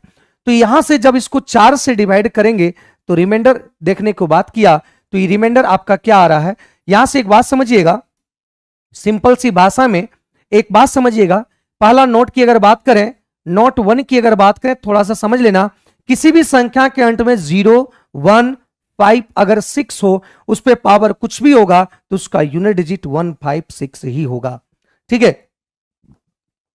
अगर इवन नंबर पर पावर चार या चार का अगर मल्टीपल होगा, चार या चार का अगर मल्टीपल होगा तो इस बात को ध्यान रखना मल्टीपल होगा तो इसका यूनिट डिजिट हमेशा कितना आएगा? छ आएगा। कितना आएगा? छ आएगा। अगर ऑड नंबर पर पावर चार या चार का मल्टीपल होगा, चार या चार का मल्टीपल होगा तो उसका यूनिट डिजिट हमेशा कितना आएगा? वन आएगा। इस बात को ध्यान रखना। तो देखो यहाँ पे ये ये ऑड नंबर ऑड नंबर पर पावर चार या चार का मल्टीपल है तो ऑड पर पावर चार या चार का मल्टीपल है इसका यूनिट डिजिट आपका कितना आएगा? वन आएगा। अब देखो यहाँ से, क्या ये पावर चार से नहीं कट रहा है? चार का मल्टीपल नहीं तो इसको चार से डिवाइड करो रिमाइंडर आएगा दो, छत्तीस कट गया रिमाइंडर आ गया दो तो सात का स्क्वायर करें, सात सत्ती उनचास उनचास का यूनिट डिजिट नो आया। अब बताओ यहाँ पे लिखेगा ज़ीरो वन फाइव सिक्स, अगर पावर कुछ भी रहेगा, उसका unit digit zero one five से होगा तो वही होगा। मतलब इसका सिक्स ही हो जाएगा। छ एक सात तो सात में से नौ मतलब ये आ गया माइनस दो। जब भी वैल्यू अगर सॉल्यूशन करते समय अगर माइनस में आ जाए तो उसमें यूनिट डिजिट कभी भी नेगेटिव नहीं हो सकता। अगर नेगेटिव होगा तो यहाँ प्लस दस कर देंगे तो ये आ जाएगा कितना? आठ। ऑप्शन नंबर आठ इसका सही उत्तर हो जाएगा, ठीक है? आठ इसका सही उत्तर हो जाएगा। इस बात को ध्यान रखना। है ना? सही उत्तर आ जाएगा, ठीक है? किसी भी संख्या में, अंत में zero one five six, zero one five six होगा तो उसका यूनिट डिजिट सेम होगा, ज़ीरो वन फाइव सिक्स। अगर इवन नंबर पर पावर चार या चार का मल्टीपल होगा तो यूनिट डिजिट यूनिट डिजिट आपका कितना होगा? सिक्स होगा। क्या होगा भाई? सिक्स होगा। कितना आएगा? ये सिक्स होगा। अगर विषम संख्या पर पावर चार या चार का मल्टीपल होगा तो यूनिट डिजिट कितना होगा? एक होगा। ठीक है? अगर जो मल्टीपल नहीं होगा तो उसको चार से डिवाइड करेंगे, जो रिमाइंडर आएगा, फिर वापस उसके बेस पर चढ़ा देंगे और सॉल्व करेंगे। तो यहाँ अगर निगेटिव आ जाए, जब भी निगेटिव आंसर आ जाए तो उसमें हम क्या जोड़ देंगे? दस जोड़कर आंसर निकाल देंगे। ठीक है? समझते आगे चलिए देखते हैं कि तीन संख्याओं में से जिनका औसत बाईस है पहली दो संख्याओं के योग का इतना है। तो एक बात समझिएगा कि पहली दो संख्या, पहली दो अन्य संख्याओं के योग का इतना है। पहली पहली जो संख्या है, दो अन्य संख्याओं के के योग का आठवां भाग है। मतलब ये आठ है तो ये आपका तीन है। ठीक है? अब एक बात बताइए, तीन संख्याओं में जिनका औसत बाईस है तो अगर योगफल की बात करें, तीनों संख्याओं के अगर योगफल की बात करें तो तीनों संख्याओं के योगफल की अगर बात करें तो ये बाईस दिया कितना आ गया? छियासठ आ गया। अब देखो, यहाँ से आठ तीन कितना आ गया भाई? ग्यारह। ग्यारह बराबर कितना आ गया? छियासठ। तो यहाँ कितना गुना किया हुआ? एक यूनिट बराबर छह आया होगा तो पहली संख्या निकालना है तो ये छह दिया कितना हो गया? अट्ठारह आ गया। आंसर आ रहा है अठारह, ठीक है? आंसर कितना आ रहा है? अठारह आ रहा है, ठीक है? कोई दिक्कत यहाँ तक? सी इसका सही उत्तर आ रहा है, ठीक है? सी इसका सही उत्तर आ रहा है भाई। क्लियर है यहाँ तक? बोलो भाई। आगे बढ़ते हैं, अगले सवाल पे। यहाँ पे दिया हुआ है ए रेशियो बी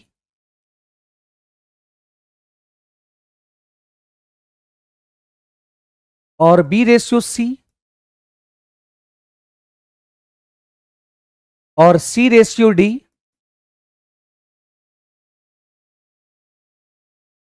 अगर यहाँ से हमको ए का निकालना है ए का निकालना है और डी का निकालना है, इधर से ए का निकालना है, इधर से डी का निकालना है तो ए का निकालना है तो इधर को सभी को गुना कर दो दूधनी चार चार सात चौक अट्ठाईस। अगर डी का निकालना है तो इधर लेफ़्ट साइड को सभी को गुना करके लिख दो तो तीन तीन नौ नौ, अठी, बहत्तर तो ये आ गया।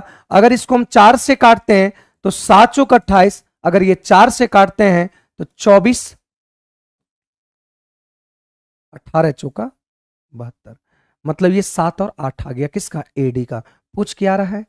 Two A ratio three D तो टू ए ए का मान कितना है? सेवन थ्री डी डी का मान कितना है? अठारह। तो ये आपका कट गया नौ तो सात बराबर नौ तिया तो कितना? कहाँ पे गड़बड़ कर दिए भाई? देखो जल्दी आ, पाँच है। यहाँ देखो गड़बड़ कर दिए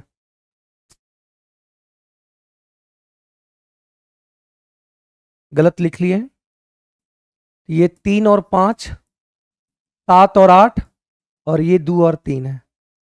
तो सात तिया इक्कीस इक्कीस दूनी बयालीस, ये हो जाएगा।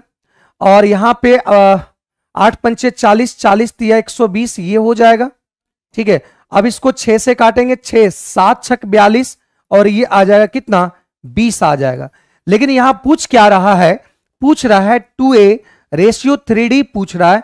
अगर ए का निकालना है तो लेफ़्ट साइड को सभी को गुना कर दो। डी का निकालना है तो राइट साइड के सभी को गुना कर दो, आ जाएगा। तो यार टू ए की बात करें तो ए आ गया सात।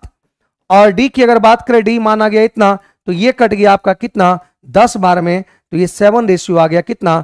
Thirty. Option number C, option number C इसका सही आंसर आ जाएगा भाई। कितना आंसर आ जाएगा? सही आंसर आ जाएगा इतना, ठीक है? कोई दिक्कत? तो इसको यहाँ पे इस बात को देखें। कभी भी अगर लेफ़्ट इधर ए और डी का अगर फ़र्स्ट वाले और लास्ट वाला निकालने की बात करें तो फ़र्स्ट वाला अगर निकालना है तो सभी को क्या करेंगे? सभी को क्या करेंगे? गुना कर देंगे और डी वाला का लास्ट वाला निकालना है तो सबको क्या कर देंगे? आप इथी कर लेना, ठीक है? ये कर लेना, ठीक है भाई?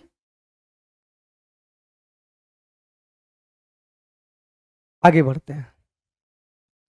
एक परिवार की गेहूँ, सब्जियों और तेल पर व्यय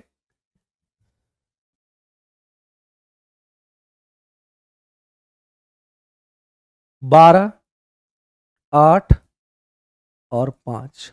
ये टोटल कितना व्यय हुआ? पच्चीस हुआ। ये आपका किस पे है? गेहूँ पे, वेट पे और ये वेजिटेबल पे। और ये ऑयल पे, ठीक है? कर इस वस्तुओं के मूल्य में क्रमशः 50 परसेंट वृद्धि हुआ। और इसमें 25 परसेंट, इसमें चालीस परसेंट की वृद्धि हो गई। इन वस्तुओं पर परिवार के व्यय में कितने परसेंट की वृद्धि हुई? वस्तुओं के कितने परसेंट की वृद्धि हुई यहाँ वृद्धि ही पूछा गया तो आपसे वृद्धि ही निकाल दो। अगर इसकी 50 परसेंट वृद्धि आ गया, हम यहाँ सिर्फ़ वृद्धि निकाल लेते हैं। पूरा निकालने की ज़रूरत नहीं है। वृद्धि निकाल दो। बारह का पचास परसेंट वृद्धि हुआ तो ये कितना वृद्धि हुआ? छह वृद्धि हुआ। यहाँ पे देखो कह रहा है पच्चीस परसेंट की वृद्धि हुआ तो पच्चीस परसेंट कितना हो जाएगा?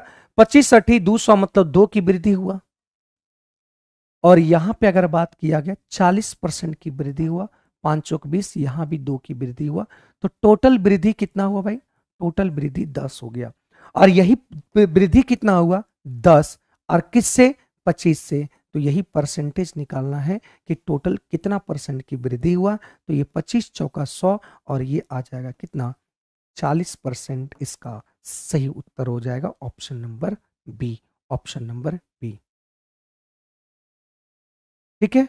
ऑप्शन नंबर बी इसका सही उत्तर आ जाएगा, ठीक है? ठीक है ना? तो ये आंसर आ गया। एक कार डीलर ने एक लाख पचासी सौ में एक लाख आठ हज़ार पाँच सौ में एक पुरानी कार खरीदी ठीक है? कार खरीदी। मतलब एक कार खरीदी कह, कहने का मतलब कितना? एक लाख आठ हज़ार पाँच सौ में। उसकी मरम्मत पर कुछ रुपया खर्च किया इसके मरम्मत पर मान लेते हैं एक सौ रुपया वो खर्च किया। ये इतना खरीदा गया था और ये मरम्मत किया गया था एक सौ रुपया। अभी मरम्मत करके कार खरीदा और मरम्मत किया और मरम्मत करके इसको बेच दिया और बेच दिया तो 25 परसेंट का लाभ हुआ। 25 परसेंट कहने का मतलब एक बटा चार का लाभ हुआ। इसका मतलब ये पाँच बटा चार में इसको क्या किया? बेच दिया। क्योंकि चार था, एक लाभ हुआ तो विक्रय मूल्य हो गया कितना? चार, एक पाँच पर बेच दिया। लेकिन यहाँ पे क्वेश्चन में कह रहा है कि बेचा कितना में? इतना में एक लाख छप्पन हज़ार दो सौ छप्पन दो सौ पचास। तो अब इसको क्या करना भाई? तो x की वैल्यू निकाल देना तो x की वैल्यू निकालने के लिए आप निकाल देना जो आंसर आएगा। तो आंसर मेरे ख्याल से आपका 16,500 आएगा। आप इसको सॉल्व कर लेना। ये काम आपका है। क्या ये बताओ आंसर इतना आएगा कि नहीं? बताओ भाई। बताओ जल्दी आंसर आएगा कि नहीं? थोड़ा सा हम पानी पी लेते हैं। तो यहाँ पर हम लोग देखे कि रेट आपका टेन टेन परसेंट था। अब देखो आवाज़ आ रहा है बताओ तो भाई। तो यहाँ पे अर्धवार्षिक संयोजित हो रहा है। अर्धवार्षिक संयोजित होने का मतलब रेट आधा हो जाएगा। और ये पाँच टर्म पाँच परसेंट मतलब एक सौ, एक बटा बीस टर्म यहाँ कितना हो जाएगा? क्योंकि डेढ़ साल का टर्म है मतलब ये छह महीना, ये भी छह महीना, ये भी छह महीना टोटल अट्ठारह मंथ का है तो टोटल अठारह मंथ आपका हो जाएँगे इतना मतलब तीन टर्म होगा टीवी तीन टर्म होगा। मतलब 20 से एक ब्याज हुआ 21 हो गया, अगला साल भी 20 से 21 हो गया 20 से 21 हो गया तो ये गुना किए 8000 ये गुना किए 9261 ये आ गया। तो एक बात समझेंगे कि ये याद रखिएगा इक्कीस का क्यों आता है? नौ, हज़ार दो सौ इकसठ। अब देखो यहाँ पे धनराशि आठ हज़ार है यहाँ भी आठ हज़ार हो गया दोनों मैच कर गया मतलब ये मूलधन ही ये ये रेशियो ही कंफर्म वैल्यू हो गया तो ये भी कंफर्म वैल्यू हो गया। तो आठ हज़ार से नौ हज़ार दो सौ इकसठ हुआ तो बारह सौ इकसठ बढ़ा तो बारह सौ इकसठ क्या हो गया? ये आपका आंसर हो गया। क्या? सॉरी सर हाफ़ नहीं किए हम तो टेन परसेंट। अच्छा हो हाफ़ नहीं किए थे।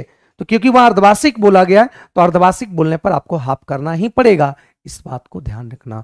तो ये आंसर आ गया। ठीक है भाई? कोई दिक्कत यहाँ तक? अगली बात करते हैं यहाँ। किसी व्यवसाय में ए और बी के निवेश का अनुपात ए और बी का निवेश का अनुपात 14 रेशियो 15 है। वर्ष के अंत में उनके लाभ का अनुपात टू इज़ टू फाइव ये आपका किसका है?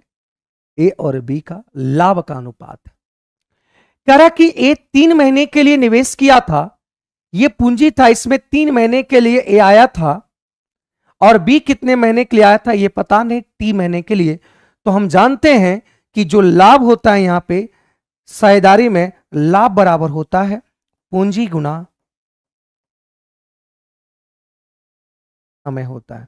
पूंजी गुना समय कहने का मतलब हुआ कि 14 गुना थ्री, ये ए का लाभ था, और ए बटा बी यहाँ पे बी का लाभ, देखो, पूंजी गुना समय, ये लाभ हो गया। पूंजी गुना समय मतलब ये टी समय के लिए रहा, कितना समय था, ये पता नहीं, लेकिन टी समय मान लिए तो ये लाभ हम लोग के अनुसार इतना, लेकिन क्वेश्चन में बोल रहा है, लाभ का रेशियो टू बाई फाइव था, और यहाँ से हम लोग क्या किए, पाँच दिया पंद्रह, तीन से इसको काट दिए तो ये कट गया सात बार में मतलब टी बराबर आ गया कितना seven month option number A option number A इसका सही उत्तर हो जाएगा। ए, इसका क्या हो जाएगा? सही आंसर आ जाएगा, ठीक है? सही आंसर आ जाएगा। क्लियर है यहाँ तक? बोलो कोई डाउट है यहाँ तक भाई? अगले सवाल पे बढ़ते हैं। ए, एक काम का 18 दिन 18 दिन और बी, इसी काम का 30 दिन कर सकता है। मतलब ए कह रहा है कि 18 दिन में कोई काम कर सकते हैं और इसी काम को बी कह रहा है कितना? 30 डेज़ में कर सकते हैं, कोई डाउट नहीं इसमें। और यहाँ सबसे पहले हमको निकालना क्या होता है? आप जानते हैं टोटल वर्क निकालना होता है। तो टोटल वर्क आपकी अगर निकालने की बात है तो 18 और 30 आ गया कितना? 90 तो 18 पच्चीस, नब्बे और 30 दिया 90 ठीक है? फिर देखो क्या है। इन दोनों ने मिलकर छह दिन तक काम किया। कौन लोग भाई? ए और बी दोनों मिलकर स्टार्ट किया था और छह दिन तक काम किया। तो छह दिन तक कौन काम किया? ए और प्लस बी छह दिन तक काम किया तो एक आपका देखने को मिला, ये पाँच है और ये तीन। पाँच, तीन, आठ आठ छक, अड़तालीस काम किया। तो यहाँ पे रिमेनिंग जो वर्क बचा, ये वर्क कितना बचा? बयालीस वर्क बचा। अभी जो बयालीस वर्क बचा है, यहाँ देखो, बचे हुए काम को, कह रहे बचे हुए काम को सी अकेले सात दिन तक किया मतलब ये काम सी के लिए है, और ये सी कितना? कह रहा है, सात दिन तक किया मतलब बयालीस बेटा सात करेंगे तो ये छ आएगा और ये आपका क्या आ जाएगा? यूनिट वर्क आ जाएगा। कि सी एक घंटे में या एक दिन में छ यूनिट काम करता है। सी का यूनिट वर्क आ गया, कह रहा है ए बी सी तीनों मिलकर, A plus B plus C तीनों मिलकर इस काम को कितने दिन में किया? तो नब्बे टोटल काम था और यहाँ छ पाँच, ग्यारह, तीन, चौदह तो ये कट गया आपका पैंतालीस बटा सात। मतलब सात छक बयालीस, तीन बटा पेज में आंसर आ जाएगा। ठीक है? तो ऑप्शन नंबर सी इसका सही उत्तर आएगा। ठीक है? ऑप्शन नंबर सी इसका सही उत्तर आएगा। ठीक है भाई? ठीक है?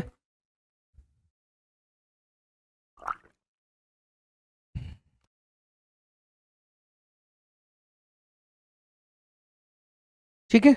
तो ये इसका आंसर आ गया। आगे बढ़ते हैं अगले सवाल पे। तीन पाइप ए और बी सी एक खाली जलाशय को क्रमशः दो घंटे, तीन घंटे, चार घंटे में भर सकते हैं। मतलब सीधा सीधी ए बी सी है, ये आपका और दो घंटे, तीन घंटे और छह घंटे। सबसे पहला टोटल निकाल लो टोटल वर्क निकाल लो तो टोटल वर्क आपका हो जाएगा कितना? छ आ जाएगा। तो ये तीन बार में, ये दो बार में, ये एक बार में। ठीक है? क्लियर है? तीनों पाइपों को एक साथ खोल दिया जाता है। तीनों पाइप को क्या किया? इस जलाशय में एक साथ क्या किया? खोल दिया गया, ठीक है? खोल दिया गया। कितने समय बाद पाइप बी को बंद कर दिया जाना चाहिए ताकि जलाशय ठीक एक घंटे पंद्रह मिनट में भर जाता है। एक बात समझो, एक घंटा पंद्रह मिनट में भर जा रहा है, इसका मतलब क्या हुआ? एक घंटा पंद्रह मिनट भर जाता है, इसका मतलब बी को बंद किया। बताओ, ए और सी शुरू में जो खोला था, वो लास्ट एक घंटा पंद्रह मिनट तक रहा होगा कि नहीं? बोलो यस या नो क्या जो ए और बी को खोला गया है ए बी सी तीनों को खोला है तो कह रहा है कि बी कितने घंटे के बाद, क्या पूछ रहे पाइप को बी को बंद कर दिया जाता है। कितने समय बाद बी को बंद कर दिया जाता है? तो एक बात बताओ बी को बंद किया तो ए और सी शुरू से अंत तक रहा होगा कि नहीं? इसका मतलब क्या हुआ कि ए और ए प्लस सी एक घंटा पंद्रह मिनट कहने का मतलब होता है पंद्रह साठ। तो ये आ गया one point two hour. One point two hour इनका कहने का मतलब हुआ कि ए और सी तीन एक चार एक घंटे में, एक घंटा है ना? घंटे में एक घंटे में चार यूनिट ए और सी भरता है, लेकिन यहाँ भरना है इतना 1.25 तो 1.25 की अगर बात करें तो ये आपका पाँच यूनिट काम कंप्लीट हो जाएगा। तो यहाँ पे रिमेनिंग जो वर्क है, वो कितना है भाई? छ टोटल था, पाँच यूनिट ए और सी किया है, इसका मतलब एक बचा कितना है? एक। इसका मतलब ये जो एक किया होगा, ये बी के द्वारा किया गया होगा, और ये बी के द्वारा किया होगा तो यहाँ से देखो, ये ये किसके द्वारा किया होगा? बी के द्वारा किया गया होगा।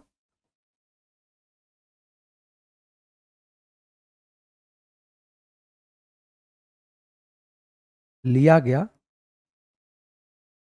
समय। तो एक यूनिट काम था और बी एक दिन में दो घंटा करता है तो ये एक बटा दो घंटा मतलब तीस मिनट। आंसर कितना आ गया? सी। कितना आ गया? सी। थर्टी मिनट इसका सही आंसर आ जाएगा। क्या? क्योंकि एक एक एक एक यूनिट ही काम करेगा बी और एक यूनिट ये काम करेगा एक एक दिन में दो यूनिट काम करता है। इसका मतलब एक बटा दो, इसका करने का मतलब ये तीस मिनट में ही कंप्लीट करेगा। कितने मिनट में? तीस मिनट ही रहा होगा मतलब बी आपका तीस मिनट तक ही रहा होगा। ठीक है? कितना मिनट? तीस मिनट ही रहा होगा, इस बात को समझना। एक आदमी नाव के द्वारा धारा के प्रतिकूल, धारा के प्रतिकूल कहने का मतलब क्या हुआ? अपोजिट डायरेक्शन है ना? अप स्ट्रीम 900 किलोमीटर की दो 900 मीटर की दूरी 12 मिनट में। प्रतिकूल मतलब अपोजिट डायरेक्शन अपोजिट डायरेक्शन मतलब x माइनस वाई एक्स किसकी चाल है? वो नाव की चाल, और वाई क्या है? धारा की चाल।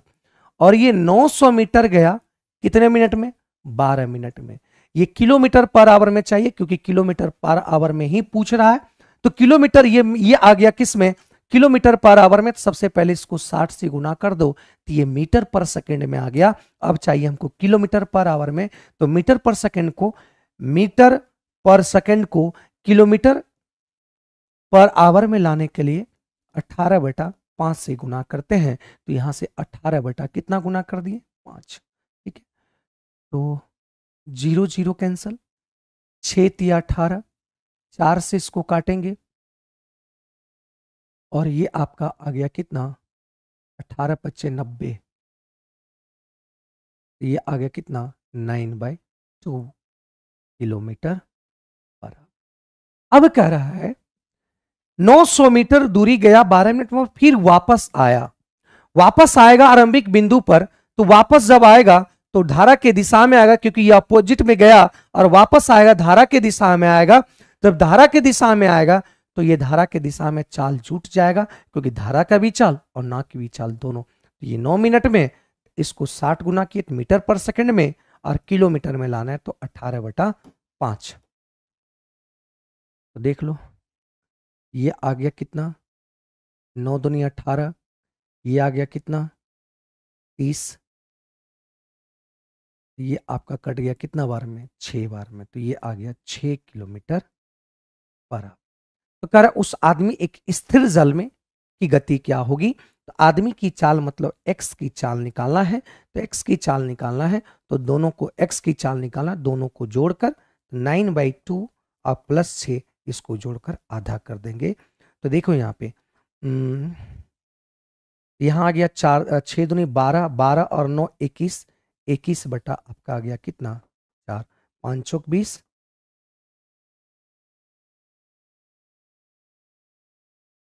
इतना आ गया, ठीक है? सी, इसका सही उत्तर आएगा, ठीक है भाई? क्या कोई डाउट है यहाँ तक? बोल। बोलो भाई, कोई प्रॉब्लम है? ये गया है मतलब अप स्ट्रीम प्रतिकूल, और ये गया है किसमें डाउन स्ट्रीम मतलब वापस आया है डाउन स्ट्रीम में।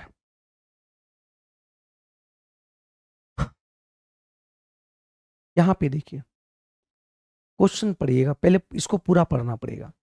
यदि ए टाइप के एक कंप्यूटर पर और बी टाइप के एक कंप्यूटर के बिक्री पर पच्चीस हज़ार का लाभ, सॉरी, पच्चीस सौ का लाभ और दूसरे पर तीन हज़ार का लाभ होता है, फरवरी में ए टाइप पंद्रह परसेंट कंप्यूटर और जून में बी टाइप को 10 परसेंट कंप्यूटरों की बिक्री पर कुल लाभ कितना होगा? औसत लाभ निकालना है। देखते हैं कितना आता है। एक हज़ार रुपये प्रति एक हज़ार रुपये ठीक है? प्रति एक हज़ार रुपये तो सबसे पहले फरवरी में ए टाइप के कुल बिक्री देखो। फरवरी महीने में ए टाइप का कुल बिक्री एक एक सौ अस्सी है। और इस पे कितना परसेंट? कितना परसेंट? पंद्रह परसेंट। और पंद्रह परसेंट की बात किया, ये आपका आ गया कितना? एक कंप्यूटर पे। लेकिन एक कंप्यूटर पे यहाँ पे, इतना कंप्यूटर पे 180 है 180 का 15 परसेंट निकाल दिए। कंप्यूटर की संख्या 180 का 15 परसेंट निकाल दिए। तो ये 15 परसेंट लाभ होता है मतलब 180 का 15 परसेंट और एक का लाभ, देखो एक पे लाभ होता है ढाई सौ तो इसमें जितना आएगा, उसमें हम क्या कर देंगे? पच्चीस सौ गुना कर देंगे। ये एक कंप्यूटर का, ये एक कंप्यूटर का लाभ इतना तो इतना कंप्यूटर का लाभ हो जाएगा। ये आप निकाल दो। ये ठीक है। ठीक है? समझेगी नहीं? ये 180 का 15 परसेंट निकाले तो जो कंप्यूटर की संख्या आया होगा, जो कंप्यूटर की संख्या आया होगा, इस बात को देखिएगा। सर, क्लियर नहीं दिख रहा है मोना, कहाँ पे क्लियर नहीं दिख रहा है? बोलो। हम्म? बताइएगा, कोई दिक्कत हो रहा है क्या? हम्म? फिगर। वो फिगर नहीं दिख रहा है तो उसको हम देख लो। हम थोड़ा समझा देते हैं इसमें, है ना? फिगर नहीं दिख रहा है तो इसमें तो हम कुछ कर ही नहीं सकते हैं। ठीक है? तो यहाँ से अगर देखने की बात करें तो ये आपका कट गया। ठीक है? और इसको जब गुना करेंगे तो गुना कर लेना, ये आ जाएगा six seven two five double zero. शायद इतना ही होगा कि देखो तो भाई, देख लो तो। नहीं, टू फाइव नहीं होगा। इतना आएगा। ठीक है? ये ए वाला आ गया। अब हमको चाहिए बी वाला। कहाँ पे बी वाला? किसमें भाई? जून वाले में ना? जून वाले में।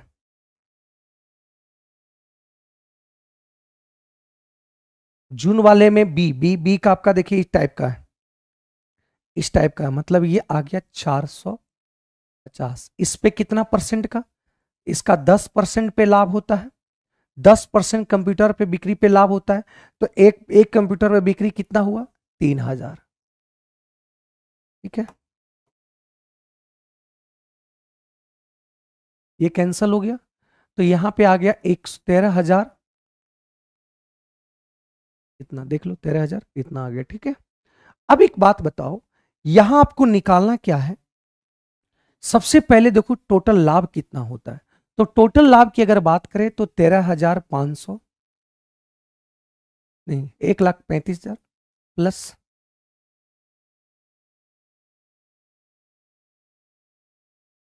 ठीक है?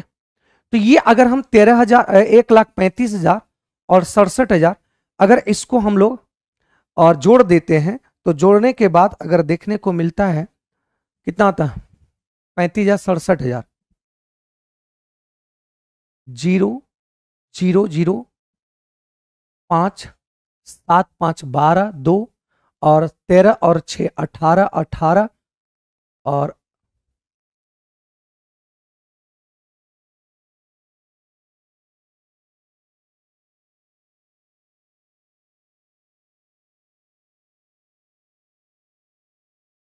दो। तो यहाँ से आ जाएगा आपका कितना?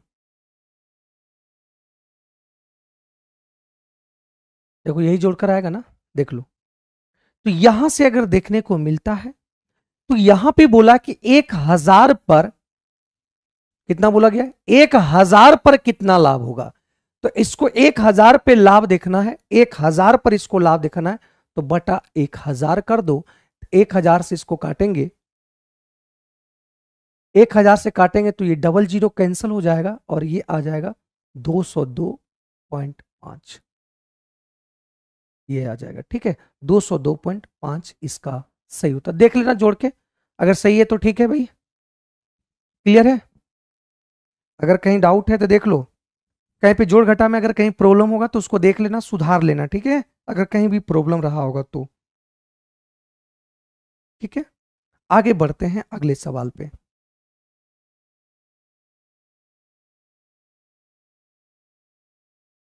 क्या बोले भाई?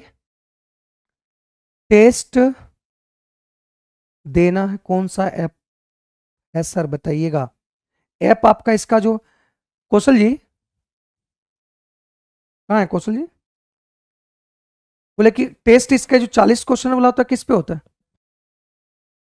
ये प्लेटफॉर्म बाय नवीन कुमार सिंह पर होता है, ठीक है ना? प्लेटफॉर्म बाय नवीन कुमार सिंह पर, प्लेटफॉर्म बाय नवीन कुमार सिंह पर ये टेस्ट होता है, वहाँ जाके टेस्ट इसको दे देंगे, ठीक है?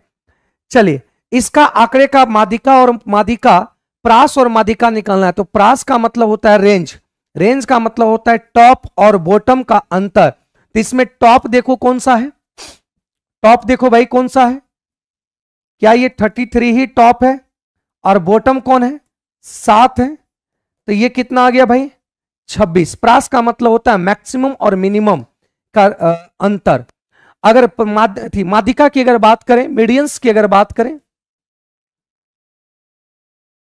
देखते हैं मादिका कितना टर्म है। एक, दो, तीन, चार, पाँच छ सात, आठ, नौ, दस, बारह, तेरह, चौदह। मतलब चौदहवा टर्म है मतलब हम यहाँ कह सकते हैं।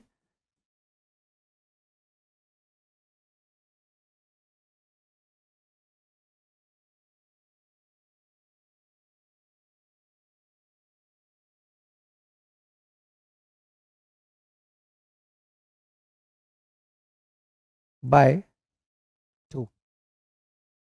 ठीक है?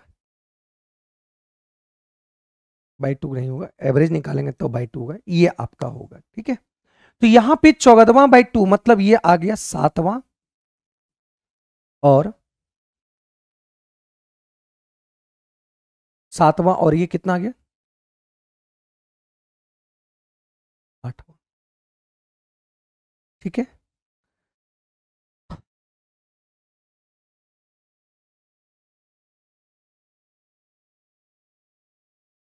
By two, sorry sorry sorry, by two भी होगा।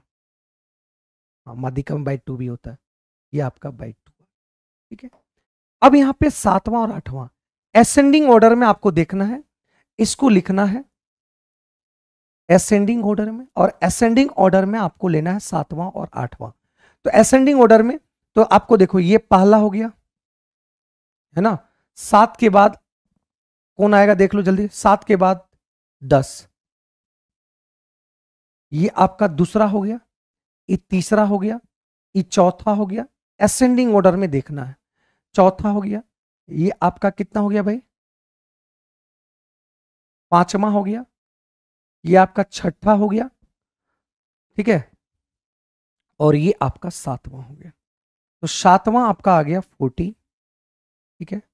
आठवां की बात करते हैं तो चौदह, आठवां की अगर बात करते हैं तो आठवां आठवां आठवां आठवां हो गया आपका कितना?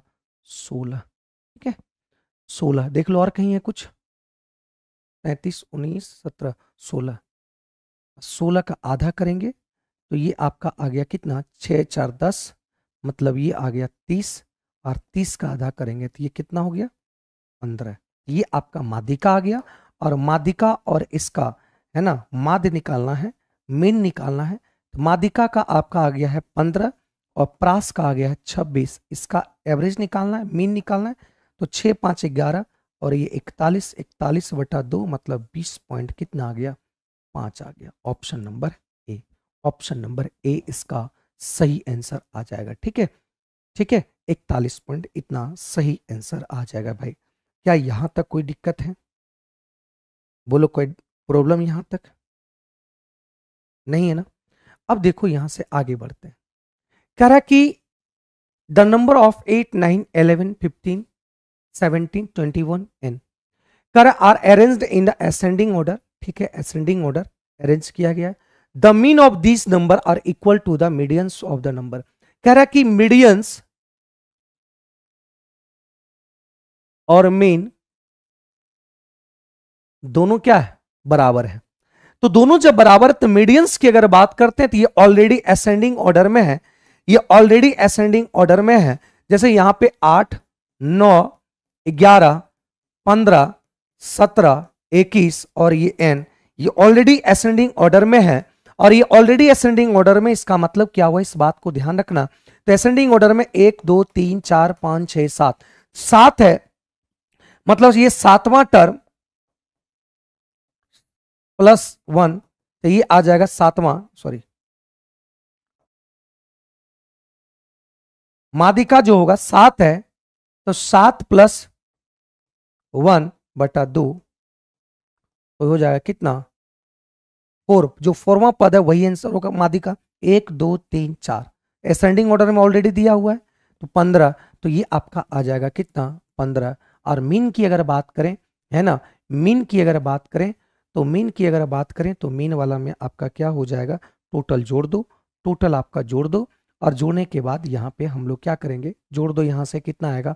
सात एक आठ आठ पाँच तेरह तेरह एक आपका चौकदा चौकदा और ये पूरा सत्रह मानते हैं चौकदा और सात। इक्कीस, एक आ गया। दो एक तीन तीन एक चार चार एक पाँच पाँच एक छ छ और दो। ये आठ आ गया और प्लस एन। संख्या कितना है? आपका चार, तीन, सात सात से डिवाइड कर देंगे। तो ये ये कह रहा है मीडियन और मीन। मीन निकाले इसका एवरेज निकाले इतना आया मीडियन इतना आया। तो एन की वैल्यू तो इधर गुना कर देंगे तो ये 107 और माइनस इक्यासी और ये एन आ गया। तो यहाँ से आ गया कितना? 26 आंसर आ गया ठीक है? तो एन बराबर आ गया कितना? 26 इसका 20 26 ना? हम्म, छब्बीस आएगा। एक मिनट। ओह 105 होगा सॉरी। ये आ जाएगा कितना? 24 इसका सही आंसर आएगा। ठीक है 105 आएगा, है ना?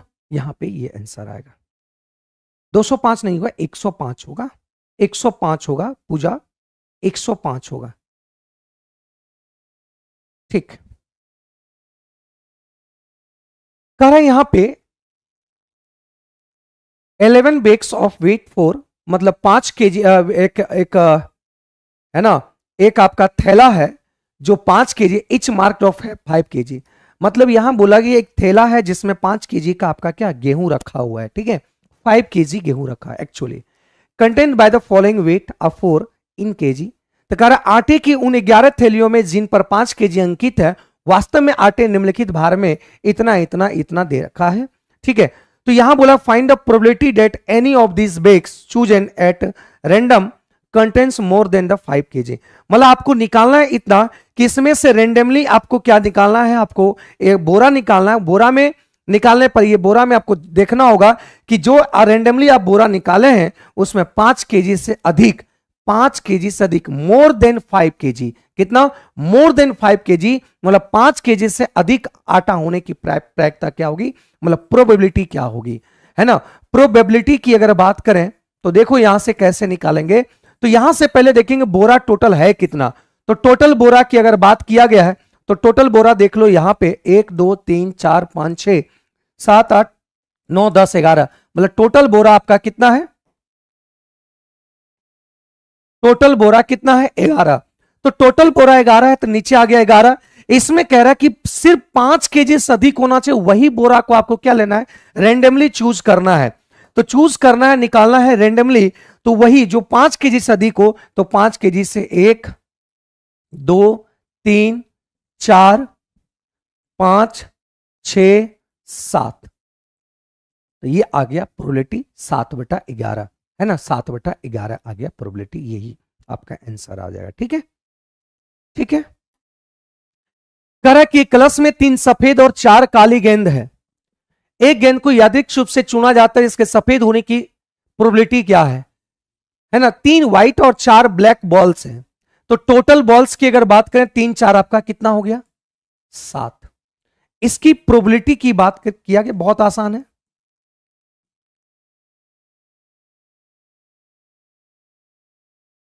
तो टोटल सात है, नीचे आपको लेना है कि सात में से एक लेना है।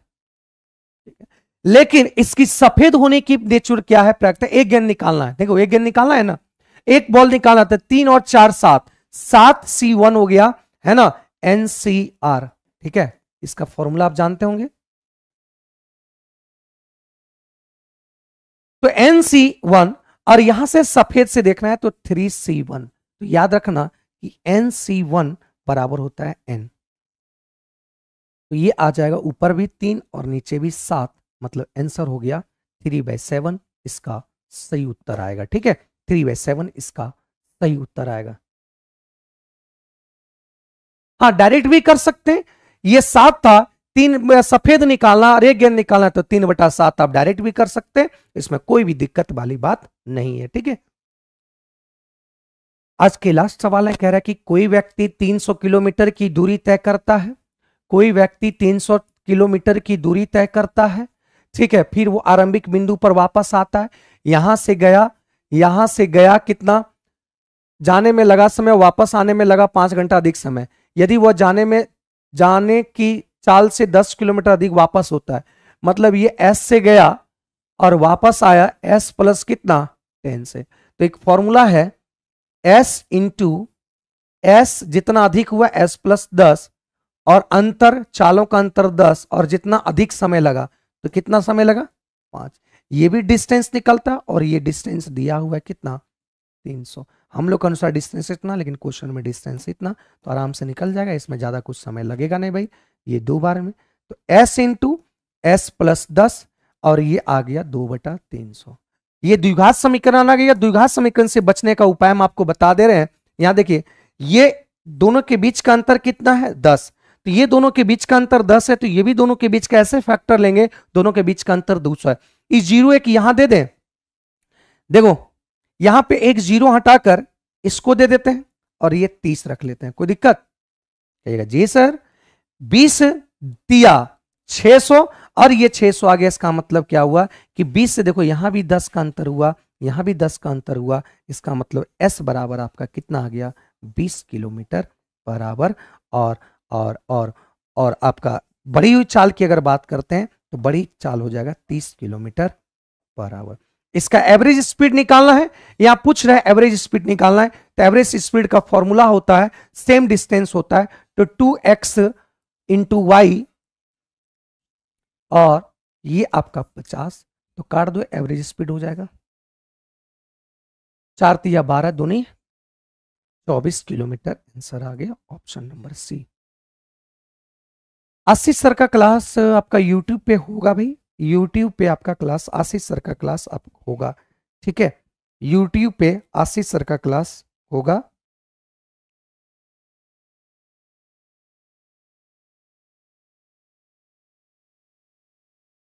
चलिए एगो क्वेश्चन का आंसर आपका।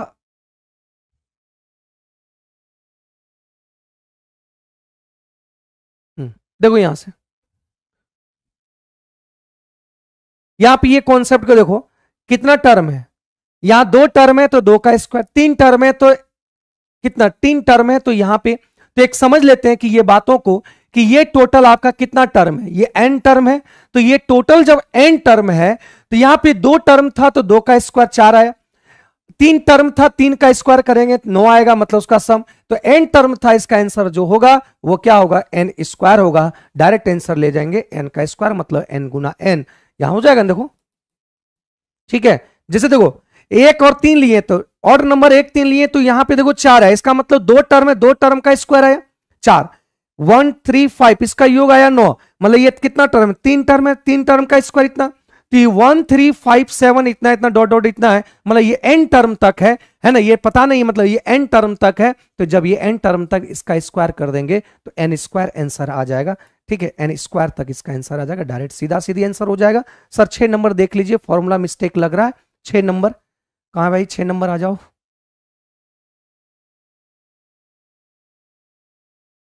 हाँ कहाँ?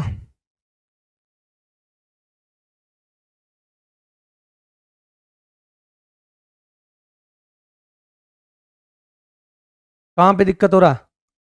ठीक तो है। Cos nine.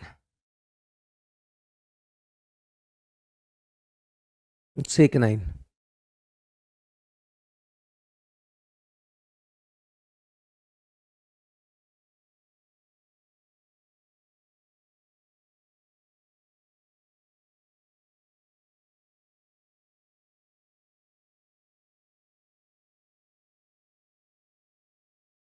एक मिनट एक मिनट।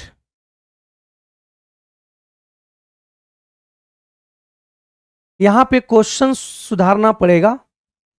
यहाँ पे क्वेश्चन सुधारना पड़ेगा। हम भी मिस्टेक कर दिए। ये आपका जो दिया हुआ है, ये कौशिक दिया हुआ है, ठीक है? ये कौशिक है।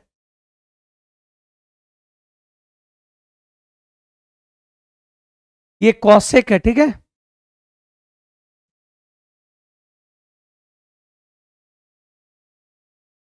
चलिए मुकेश शाह थैंक यू ये कौशिक है भाई, ये कौशिक है, ठीक है?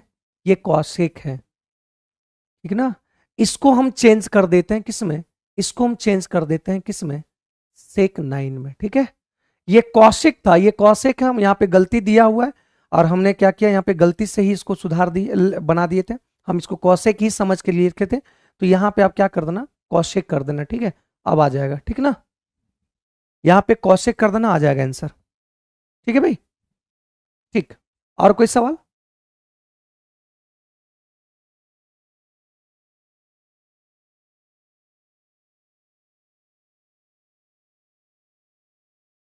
और कोई सवाल? ठीक है, यहाँ पे कौशिक है, यहाँ पे हम कौशिक ही मान के चल, लिखे, बनाए थे। आंसर पर कोई ठीक, कोई दिक्कत नहीं है। यहाँ पे कौश कौशिक ही लिख लेना, है ना? कौश नहीं होगा, कौशिक होगा। सुधार लेना उसको। चलिए ठीक चलिए थैंक यू